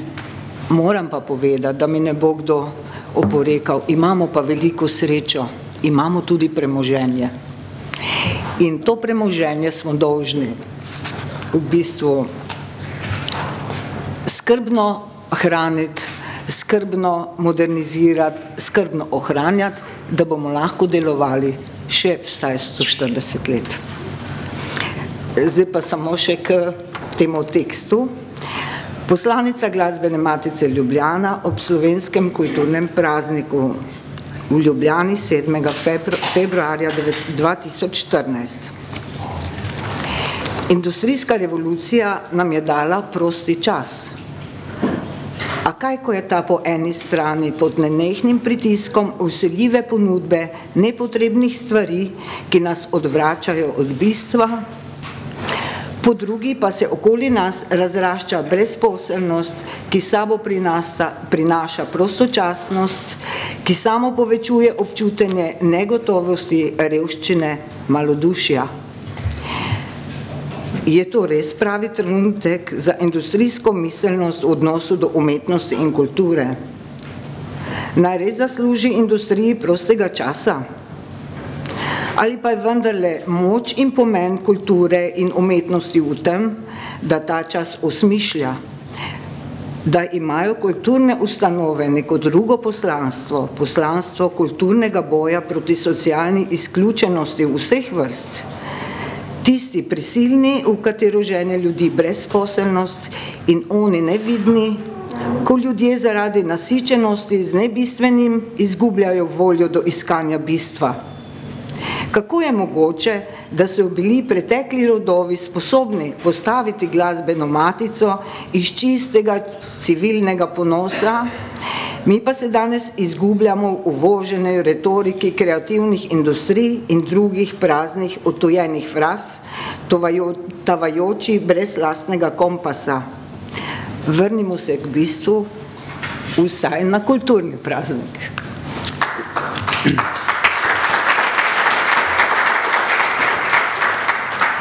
Zato vas tudi vabim na koncert, ki ga pripravlja glasbena matica, na kulturni praznik. To je vrhunski koncert samospevov v izvedbi gospoda Matjaža Robavsa, baritonista in pianistke Andreje Kosmač v operi Ljubljana. To je pa en žlahten primer, kako se da povezati nacionalno institucijo z nevladno. Hvala lepa. Gospa Mulec Ploj, hvala za poslanico in povabilo. Naslednja bo spregovorila gospa Lada Zej, ki pripada Zvezi društev upokojencev Slovenije. Mislim pa, da se je marsikdo spominja kot znane slovenske novinarke med drugim. Gospa Zej, prosim. Hvala. Uh, jaz sem upokojena že enih 12 let, prej sem bila pa novinarka. Upokojena nekako nisem znala mirovati in delam pri Zvezi društev upokojencev Slovenije, se veste, to je zdus na kratko, doktor Mateja Kožuh, ki veliko krat politizira in zelo na glasu pije. Zdus se je v zadnjih letih, bi rekla, malo preorientiral, od 520 društev upokojencev v Sloveniji je v ZDUS vključenih več kot polovica, kar pomeni tam nekje okoli 300 tisoč upokojenih ljudi sodeluje v Zvezi upokojencev. Kultura je seveda ena od glavnih dejavnosti teh društev, ampak denarja ni, danes smo slišali vseh sort žalostinke, Stari Rimljani so enkrat so imeli eno reklo, v katerem ne bom vam po latinsko težila, so rekli, čas se spreminja in mi se spreminjamo s časom. Upokojenci imamo pa eno težavo, nas čas preganja in vse teže se spreminjamo. Čas nas tudi prehiteva z novimi tehnologijami, ljudje se morajo spopadati, starejši ljudje se morajo spopadati z internetom, z pametnimi telefoni in tako naprej. In seveda ta čas in pomankanje denarja sta, bi rekla, usmerila ZDUS v eno novo smer in sicer mi se zelo orientiramo na denarje iz Evrope. Imamo veliko projektov ves čas v delu, vsi so plačani od Evrope, prijavljamo se, to je veliko garanje to narediti, ampak rezultati so. In jaz sem tukaj prišla, da bi vam predstavila en primer dobre prakse, ki je tudi zajet v resoluciji, kulturni resoluciji do 2017. Eh, projekt se imenuje Mix Ages, to so mešani, mešane starosti. Mi smo bili samo eden od petih partnerjev, eh, celo zadevo so zastavili Nemci, eh, finance so prepustili škotom, se razumete zakaj, ne? Ja, in projekt se je pa ukvarjal seveda z kulturno zadevo. Danes je bila beseda umetnost v tej, v tej kulturni prosla, kulturniški proslavi malokrat omenjena, ampak ta projekt se je ukvarjal z umetnostjo in se je ukvarjal z uh, kulturo na en drugačen način. Povezal je med seboj starejše ljudi, mlajše, ki smo jih dobivali iz srednjih šol in umetnika iz, umetnike iz, z formalno izobrazbo oziroma uveljavljene umetnike. Če se je le dalo kakšne brezposelne, tako da smo jim malo denarja omogočili. E, projekt je e, se ukvarjal na umetniški plati, s čimerkoli se je katera od držav hotela spopast. Eh, večina je šla na, pa, na različne mm, računalnike, snemalne naprave in tako naprej. Mi, ki smo vsi brez, bolj brez denarja, smo se odločili, da bojo naši člani teh, eh, ki so se udeležili tega projekta, da bojo uporabljali telefone, navadne telefone. In sicer so se učili ali pa bi rekla, so se spopadali, ne učili z fotografijo na malih telefončkih, na mobitelih. Eh, s fotografijo, ki so jo, kjer so se naučili delati portrete, slikati eh, razne zunanje eh, hiše, arhitekturo in tako naprej, pod vodstvom umetnika, Potem so pa te fotografije pošiljali en drugmu in jih tudi se naučili v računalniku obdelovati, jih prinesti računalnik in jih obdelati.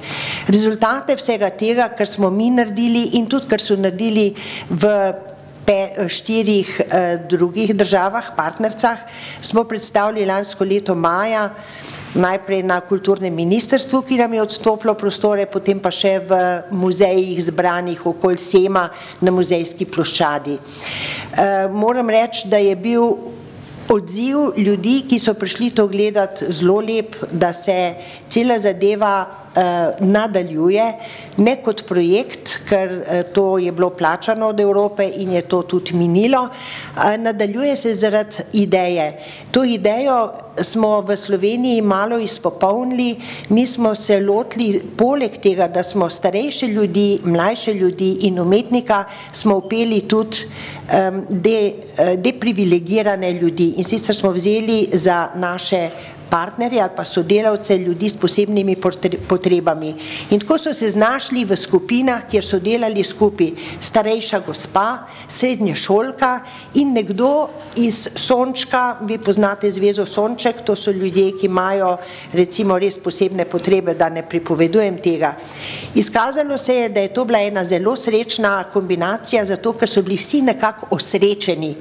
In mislim, da je bistvo kulture je v tem, da ti da te ohranja, kako bi rekla, vedrega, srečnega, da ti daje elan za živeti naprej. To je bistvo tega, kaj, zakaj se ljudi s kulturo ukvarjamo, zakaj se tisti, ki smo aktivni v kulturi ali pa tisti, ki jo sprejemajo kot konzumenti.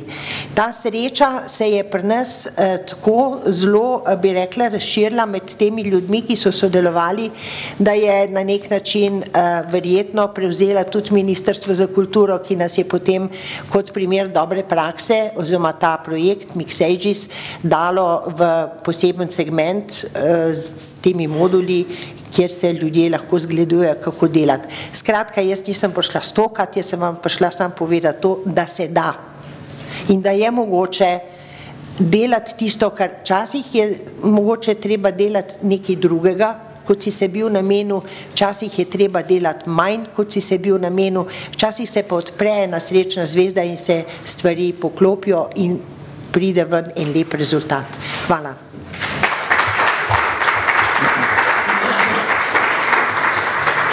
Gospa, zdaj najlepša hvala. No in naslednja se je priglasila k razpravi gospa Nataša Petrovič, ki prihaja iz Zveze kulturnih društev Ptuj. Gospa Petrovič, izvolite. Lepo zdrav vsem skupaj. Živimo v turbulentnih časih in kje je kultura v tem kaosu, ljubiteljska kultura, vse splošnem nezadovoljstvu in nezaupanju ljudi do tistih, ki ustvarjajo pogoje in odločajo o pravni in socialni državi. Še kdo omenja kulturo, ko govori o viziji prihodnosti? Ekonomisti so zmedeni oziroma ne vedo, kako kulturo umestiti med dodano vrednost, še posebej ljubiteljsko. A kdo in kje smo vsi tisti, ki delamo na različnih področjih ljubiteljske kulture? V slovenskem merilu, še posebej skozi oči javnih razpisov, so morda dosežki kulturnih skupin lokalnega okolja majhni koraki pri sestavljanju mozaika nacionalne kulture za naše okolje pa veliki koraki odrekanja prostega časa in denarja in neizmerno velike ljubezni za delo v kulturnih skupinah na mnogih področjih kulturnega ustvarjanja. Žal, največkrat to niso kriteriji pravilnikov, po katerih se odmerja denar za te programe in zagotavljajo pogoji, zlasti prostorski za njihovo uresničevanje. Pa vendar, tu smo in nismo še izumrli. Preživeli smo dve državi, dva družbena, družbena sistema.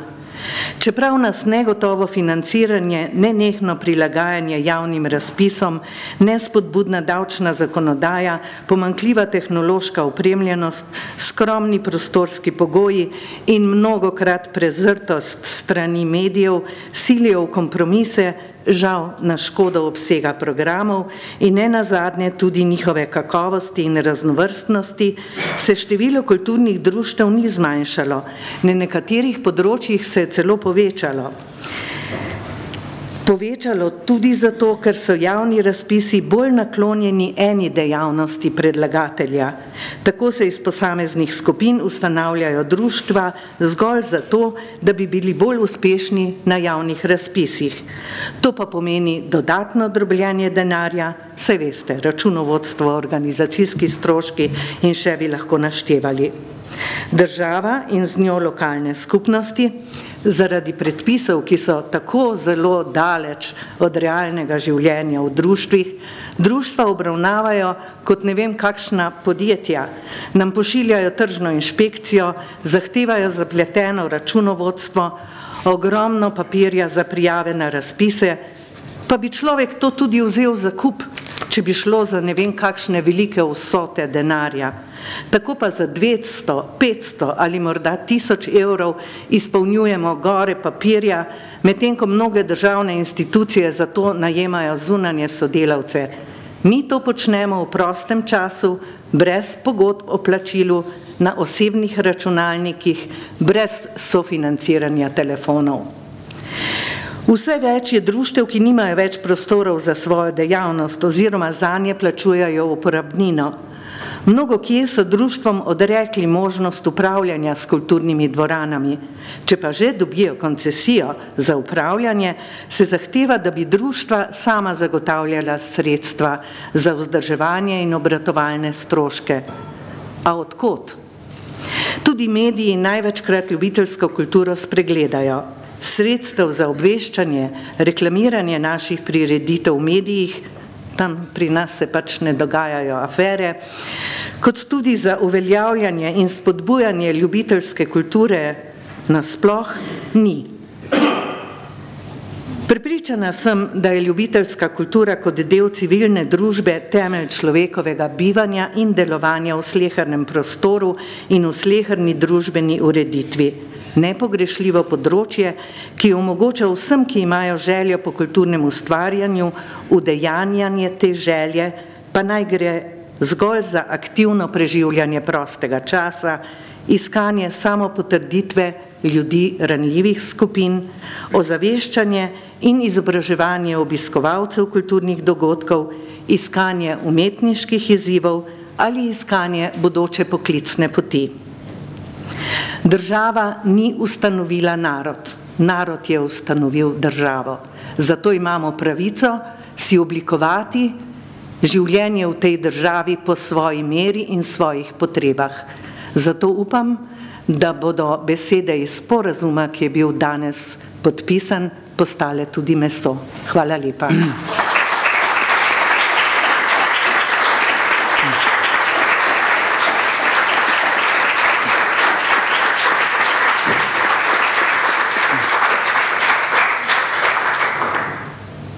Gospe Petrovič se zahvaljujem za te res, kako bi rekel, klene besede. No, eh, s tem se, se, mm, se je število razpravljavcev mm, ob eh, na današnjem posvetu vloga slovenske ljubiteljske kulture praktično skoraj izčrpalo. Podaril sem slovenske ljubiteljske kulture, ker smo ta posvet seveda zasnovali kar kot posvet o slovenski recimo državno ali nacionalno zamijeni ljubiteljski kulturi.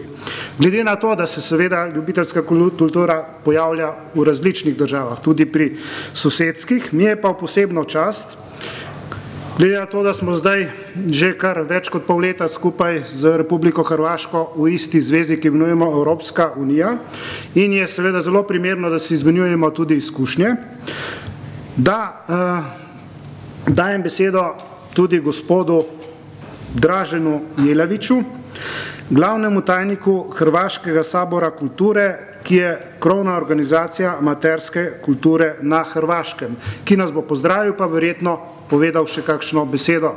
Gospod Jelavič, prosim.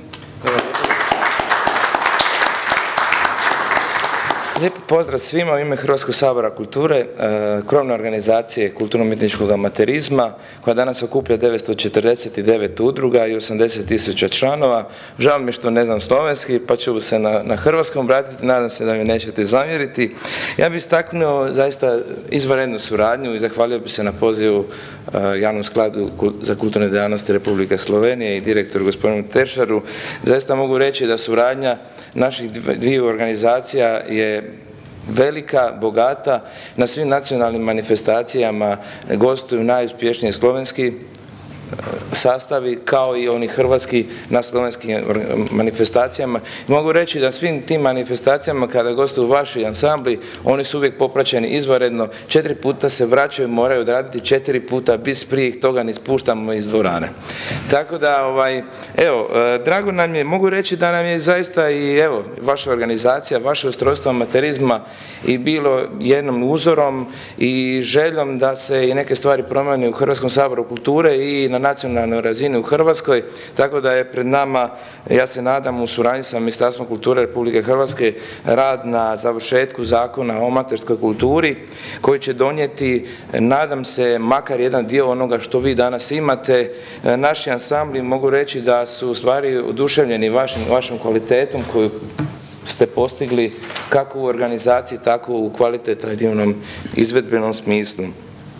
Ja bi evo na kraju se još samo e, zahvalio na poziv još jedan put, pozvao za sve okupljene ukoliko budete mogućnosti na naš simpozij koji će se dogoditi u Zagrebu 29.3. gdje ćemo predstaviti stanje u kulturnom bitičkom amaterizmu Republike Hrvatske i dati ćemo neke smjernice e, prema čemu želimo ići. Evo još jedan put. pozdrav.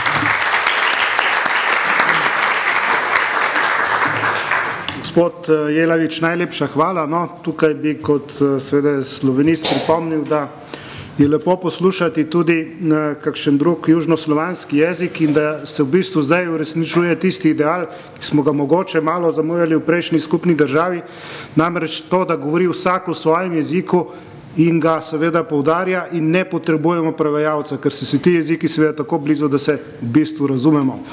Eh, no, zdaj bi pa eh, dal eh, gospodu Igorju Tršarju še, oziroma gospodu Ostermanu, naj se odločita, še možnost nekakšnega zaključka ali sklepne besede, prosim.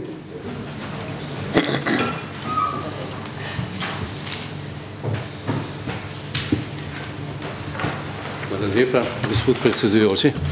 Mi dva z Igorjem sva se tukaj drenala v prvi vrsti in sva seveda razmišljala, kakšne, eh, bi rekel, poudarke dati eh, tej seji. Izrečeno je bilo veliko misli, ki jih je pravzaprav težko strniti v en krajši tekst, tako da sva nabrala za kakšno stran stališče negotovitev. Z veseljem se nama je pa pridružil v zadnjem hipu še eh, predsednik državnega sveta, gospod Brvar, ki je rekel, da bomo še malo zaostrili oziroma izostrili ali pa tudi zaostrili, bomo videli potem stališča.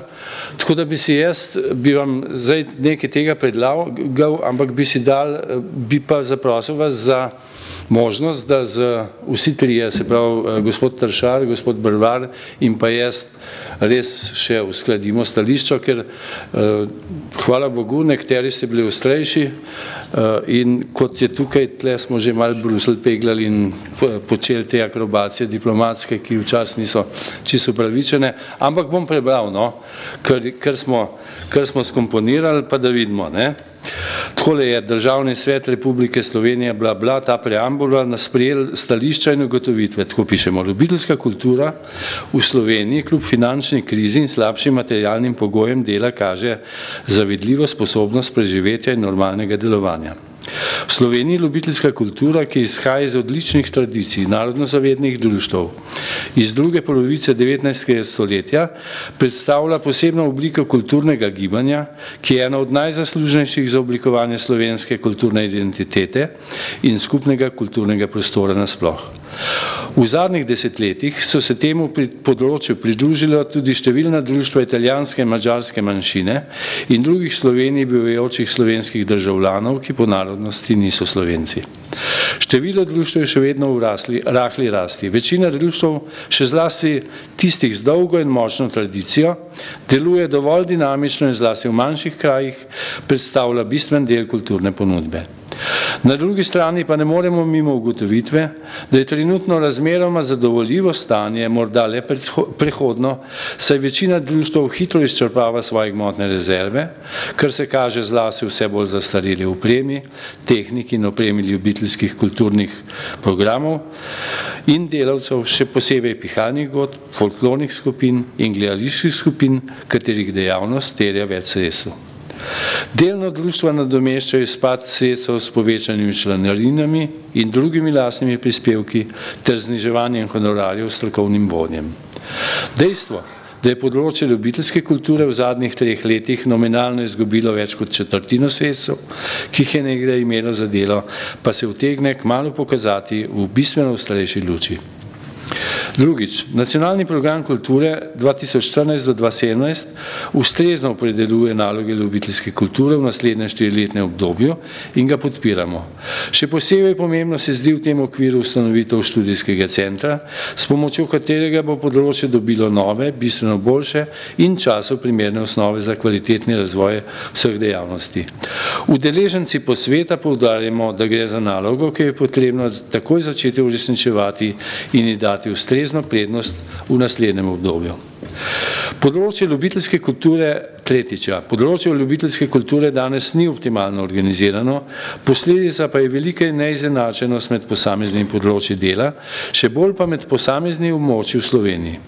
Meddružbena povezana je slabša kot nekdaj, zato je marsikje zaznati še vedno preveč samozadostnosti in nekritičnega zadovoljstva z lastnim delom, kar pogosto ne prinaša napredka, s čimer pa celotno področje izgublja svojo publiko in programsko aktualnost.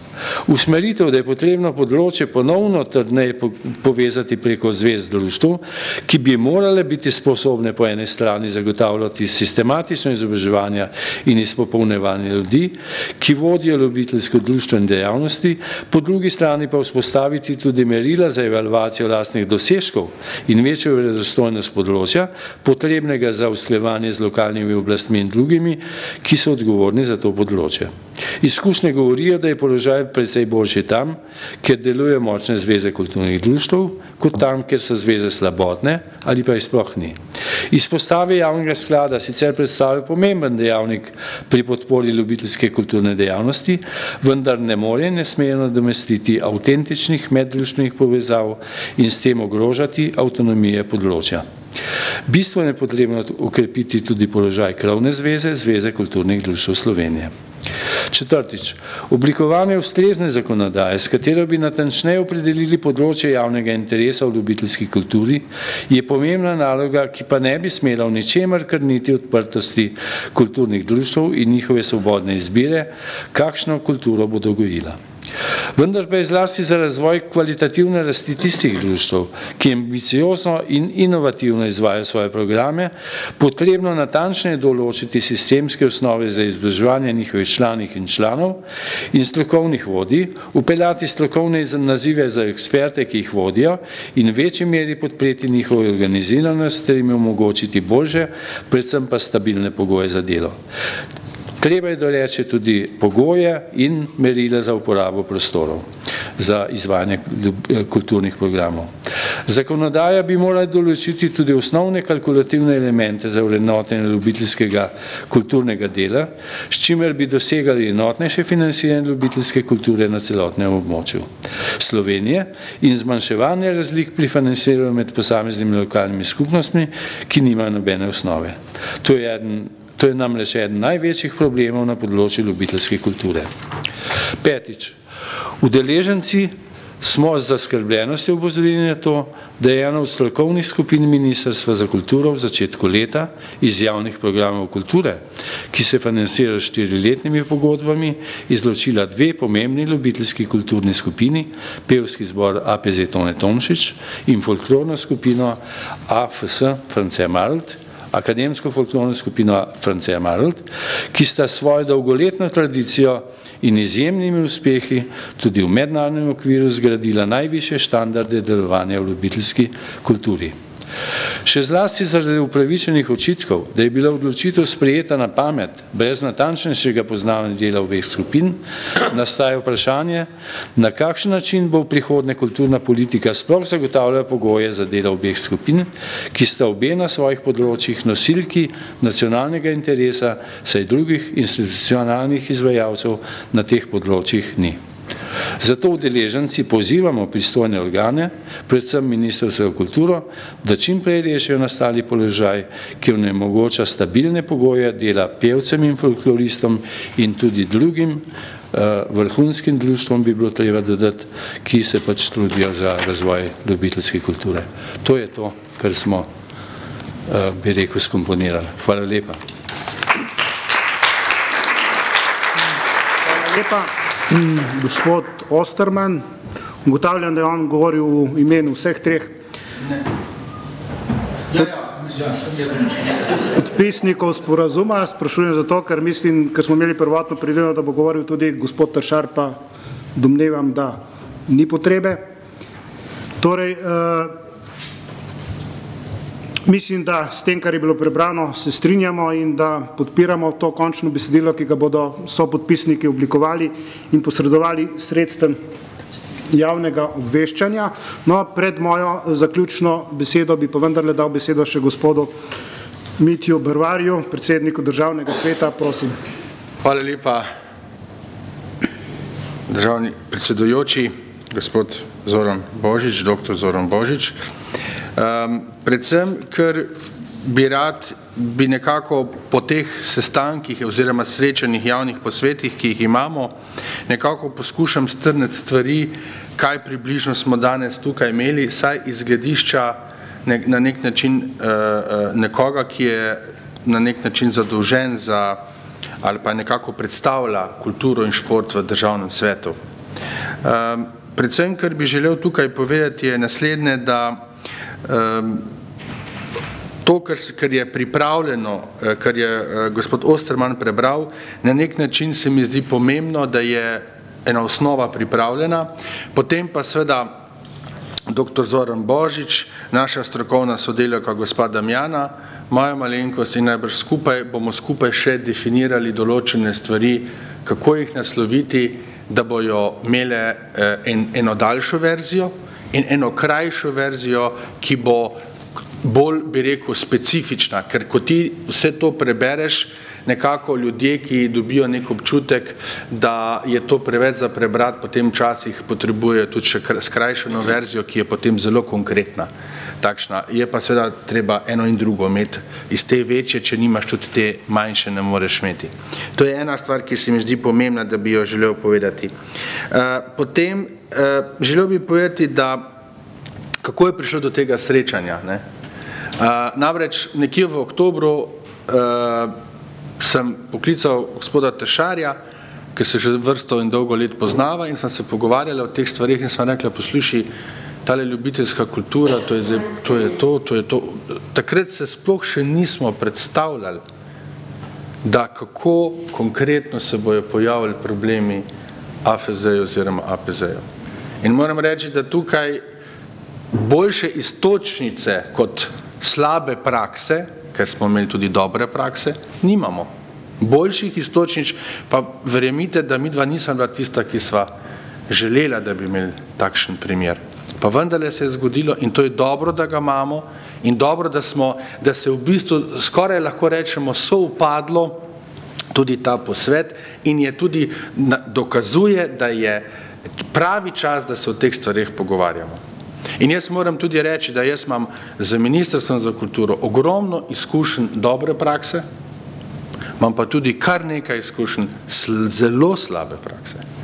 Tako da jaz ne bi želel kritizirati, eh, eh bi rekel, situacijo ministrstva. Veste, vedno sta za, za takšno situacijo dva, a vendarle dobre prakse o njih se pogovarjamo, o slabih praksah pa moramo razpravljati in moramo najti na drugi strani tudi sogovornika in mislim, da je to prav, da na ta način razmišljamo. To se pravi, vsi moramo razmišljati pozitivno, kako bomo določene stvari reševali. Eh, zato bi tudi rad gospe iz Ptuja, se upravičujem, se nisem, gospa, jaz tudi nisem si zapolnil vašega primka, ko ste rekli, da so tudi ekonomisti, ki tega ne razumejo in tako naprej. Jaz bi vam vse en želel povedati, jaz sem ekonomist in delam na področju kulture že mnogo let, uh, se moram reči, da tudi dosti krat razmišljam, da bi, ker sem tudi samostojni podjetnik, ampak hočem povedati, so tudi takšni, ki razmišljajo morda malo drugače.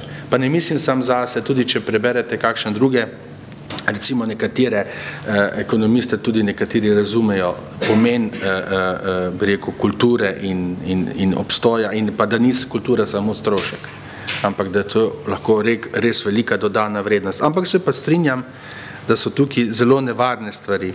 Eh, zakaj sem tudi zelo vesel, da smo se danes tukaj dobili? Eh, eh, spet se naslavljam na vas, ko ste rekli, da bojo postale eh, eh besede, a ne, eh, meso.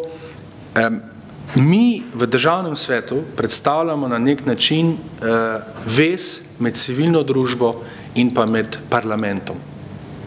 In glavna naloga državnega sveta je to. In ko ljudje začnejo razpravljati o tem, kako bi prišparali denar s tem, da bi ukinili državni svet, je to res dosti krat na mlin tistih, kateri res ne marajo, da državni svet ima take javne posvete, da se o teh stvarih pogovarjamo in da odpiramo takšna vprašanja.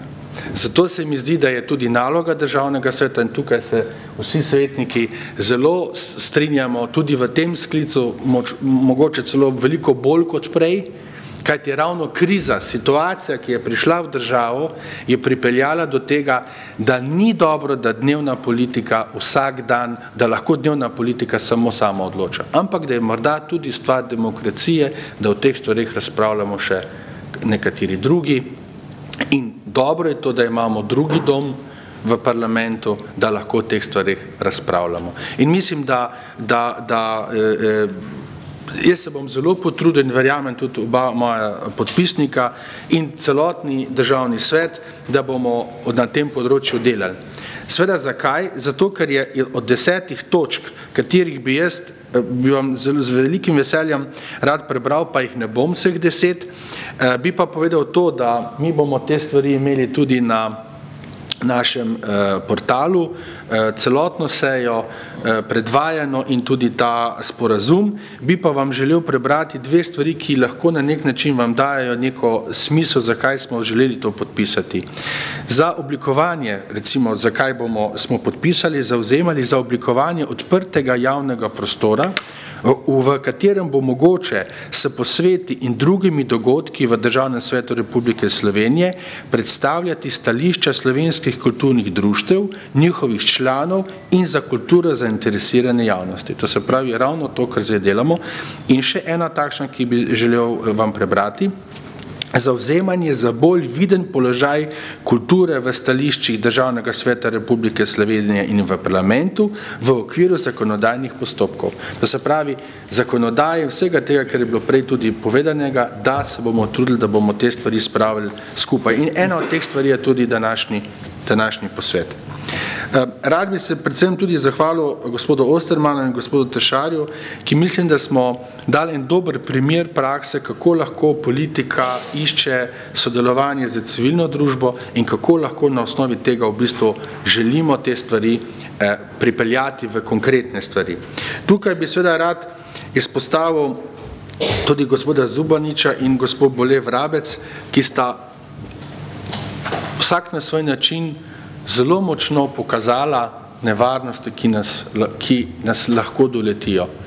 In jaz mislim, da je zelo pomembno, da uh, o tem veliko in dobro govorimo, kaj ti nevarnosti, ki, nas, ki nam lahko morda prežijo, so dovolj velike in uh, oba ta gospoda sta, imata toliko izkušenj na tem področju, da verjamem, da vesta, zakaj sta to tudi, na, na kaj sta upozorila in kje so lahko veliki problemi in zato bi zelo z velikim veseljem uh, uh, podprl vse to, kar sta oba dva tudi povedala. Um, želel bi izpostaviti še eno zanimivo stvar, ki jo morda vi niste opazili. Jaz pa moram reči z velikim veseljem. Uh, tisti, ki so bili danes tukaj na govornici in če tudi pogledate naše vodstvo, je skoraj bi lahko rekel 50-50. Žensk, ženskega spola in moškega spola. To ni tako nepomembna stvar. Če bi se v politiki tega držali, se mi zdi, da bi bilo lahko marsikaj drugače. To je zelo zanimiva stvar, če pogledate določene napredne demokracije, se zelo blizu tega držijo. In jaz mislim, da je to en, en dober primer ponovno dobre prakse, kako imamo na kulturnem področju te stvari eh, dobro razdeljene in da, in da ta jank in jink energija, ki jo jaz zelo zagovarjam, v bistvu ima pravo težo na eni in na drugi strani. Eh, rad bi tudi eh, povedal naslednje, ko je bila debata ali kako z temi eh, stvarmi, kako stvari naprej peljati. Poglejte, vedno je tako, če bomo sami aktivni in če bomo sami delali in če bomo sami upozarjali, potem uh, uh, bo od tega tudi nekaj prišlo ali pa bojo rezultati. Zakaj sem to želel povedati? Dosti krat rečemo v politikih, a ne, vse so vsi enaki.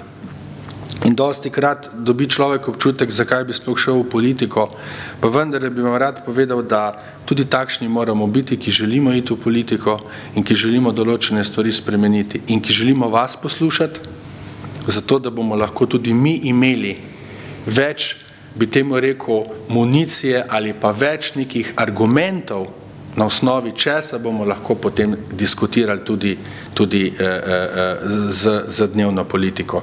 In Jaz se zelo strinjam to, kar je bilo povedano od uh, umetniškega iz, iz um, AFZ-ja in pa kar je bila debata na tem področju. Težko govorim o, o folklornem, o tem področju.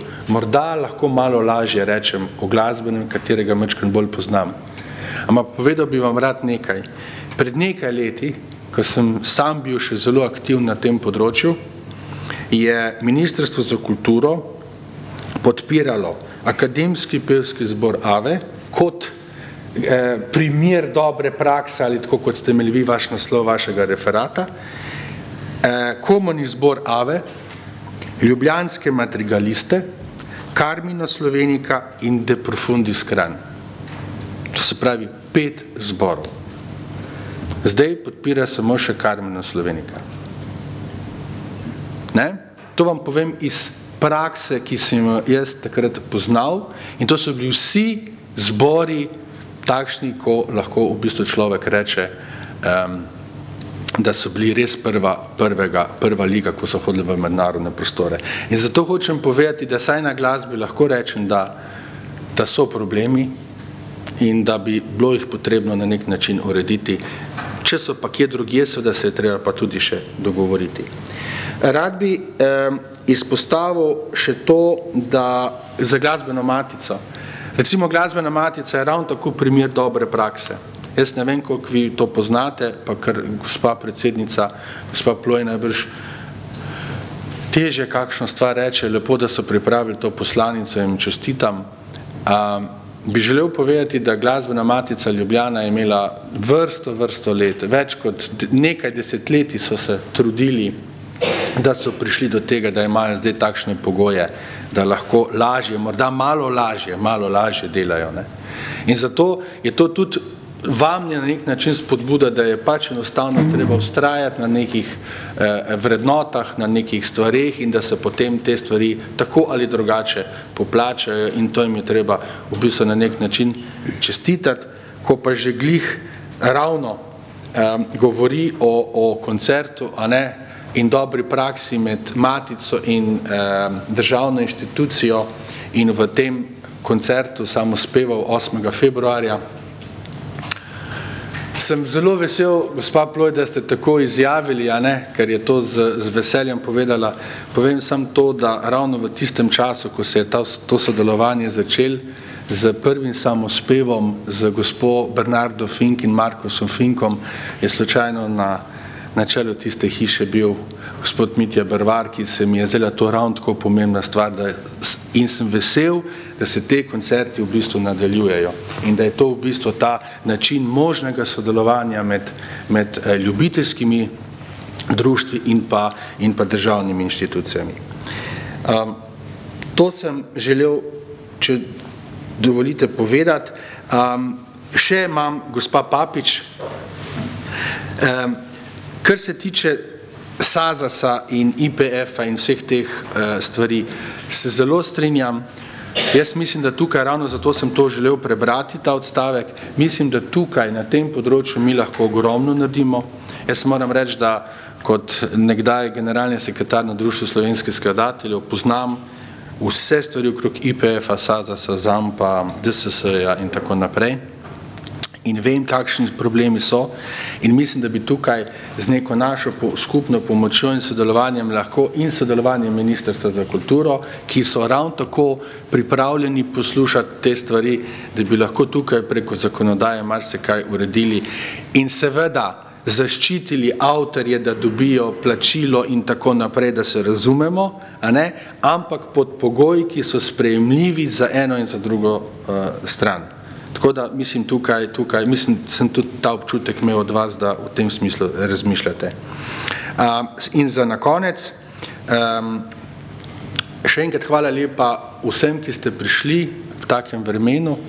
Uh, zahvaljujem se sveda uh, dr. Zoranu Božiču in pa vsem uh, sodelavcem uh, v naši strokovni službi, predvsem gospod Damjani, za ta naš posvet. Mislim, da smo danes naredili zelo lep posvet, imeli smo godbo, imeli smo eh, zbor, imeli smo folklorno skupino, imeli smo eh, predstavnike ministrstva, eh, dobro zasedbo, vas, ki ste tukaj, bi rekel, pripravljeni sodelovati in res sem vesel, da nam eh, te posveti v kulturi v državnem svetu nekako dobro uspevajo, da imamo tudi brošure eh, določene in da verjamem, da bomo tudi v prihodnje te stvari peljali tako naprej, kot, kot je prav za državni svet.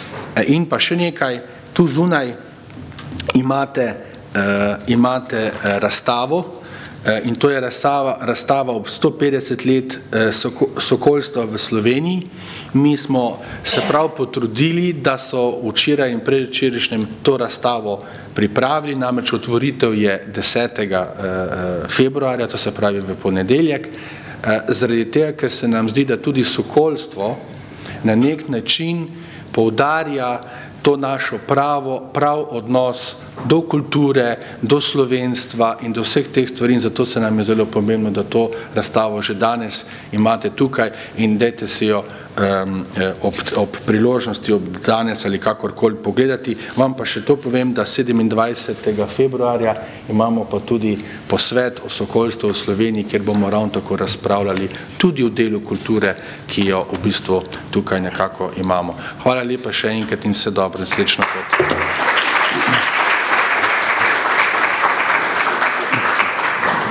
Gospod Mitja Barvar, predsednik državnega sveta, zahvaljujem se vam za eh, tehtne besede. Eh, na koncu se še enkrat eh, iskreno zahvaljujem vsem razpravljancem in vsem udeležencem in dovolite zelo kratko sklepno besedo. Gospa Alenka Vrabec je prej občuteno recitirala nekaj verzov iz manj znane prešernove pesmi Elegija svojim rojakom. Ta prešernova pesem je neposreden odziv na vodnikovo dramilo svojim rojakom, seveda zasnovana kot žalostinka, ker bil naš pesnik pač prizadet zaradi stanja, kakršno je bilo takrat v slovenskih deželah. No, ampak eh, glede na to, da je jutri pravzaprav obletnica Prešernove smrti, Prešernova smrt pa za Slovence pravzaprav pomeni neke vrste pesniško in kulturno in narodno ustajenje. Mislim, da se spodobi končati eh, ta posvet z drugimi verzi istega pesnika in sicer iz njegovega sonetnega venca, kjer pravi Vremena bodo krancem se zjasnile in milši zvezde, kakor zdaj sijale in pesmi bolj sloveče se glasile. In Po toliko letih seveda mi te bolj sloveče pesmi imamo, jih pojemo, jih gojimo. In če bi danes doktor France Prešeren poslušal akademski pevski zbor Tone Tomšič in gledal akademsko pelesno skupino France Marold, bi bil ponosen, da je slovenec. Hvala lepa.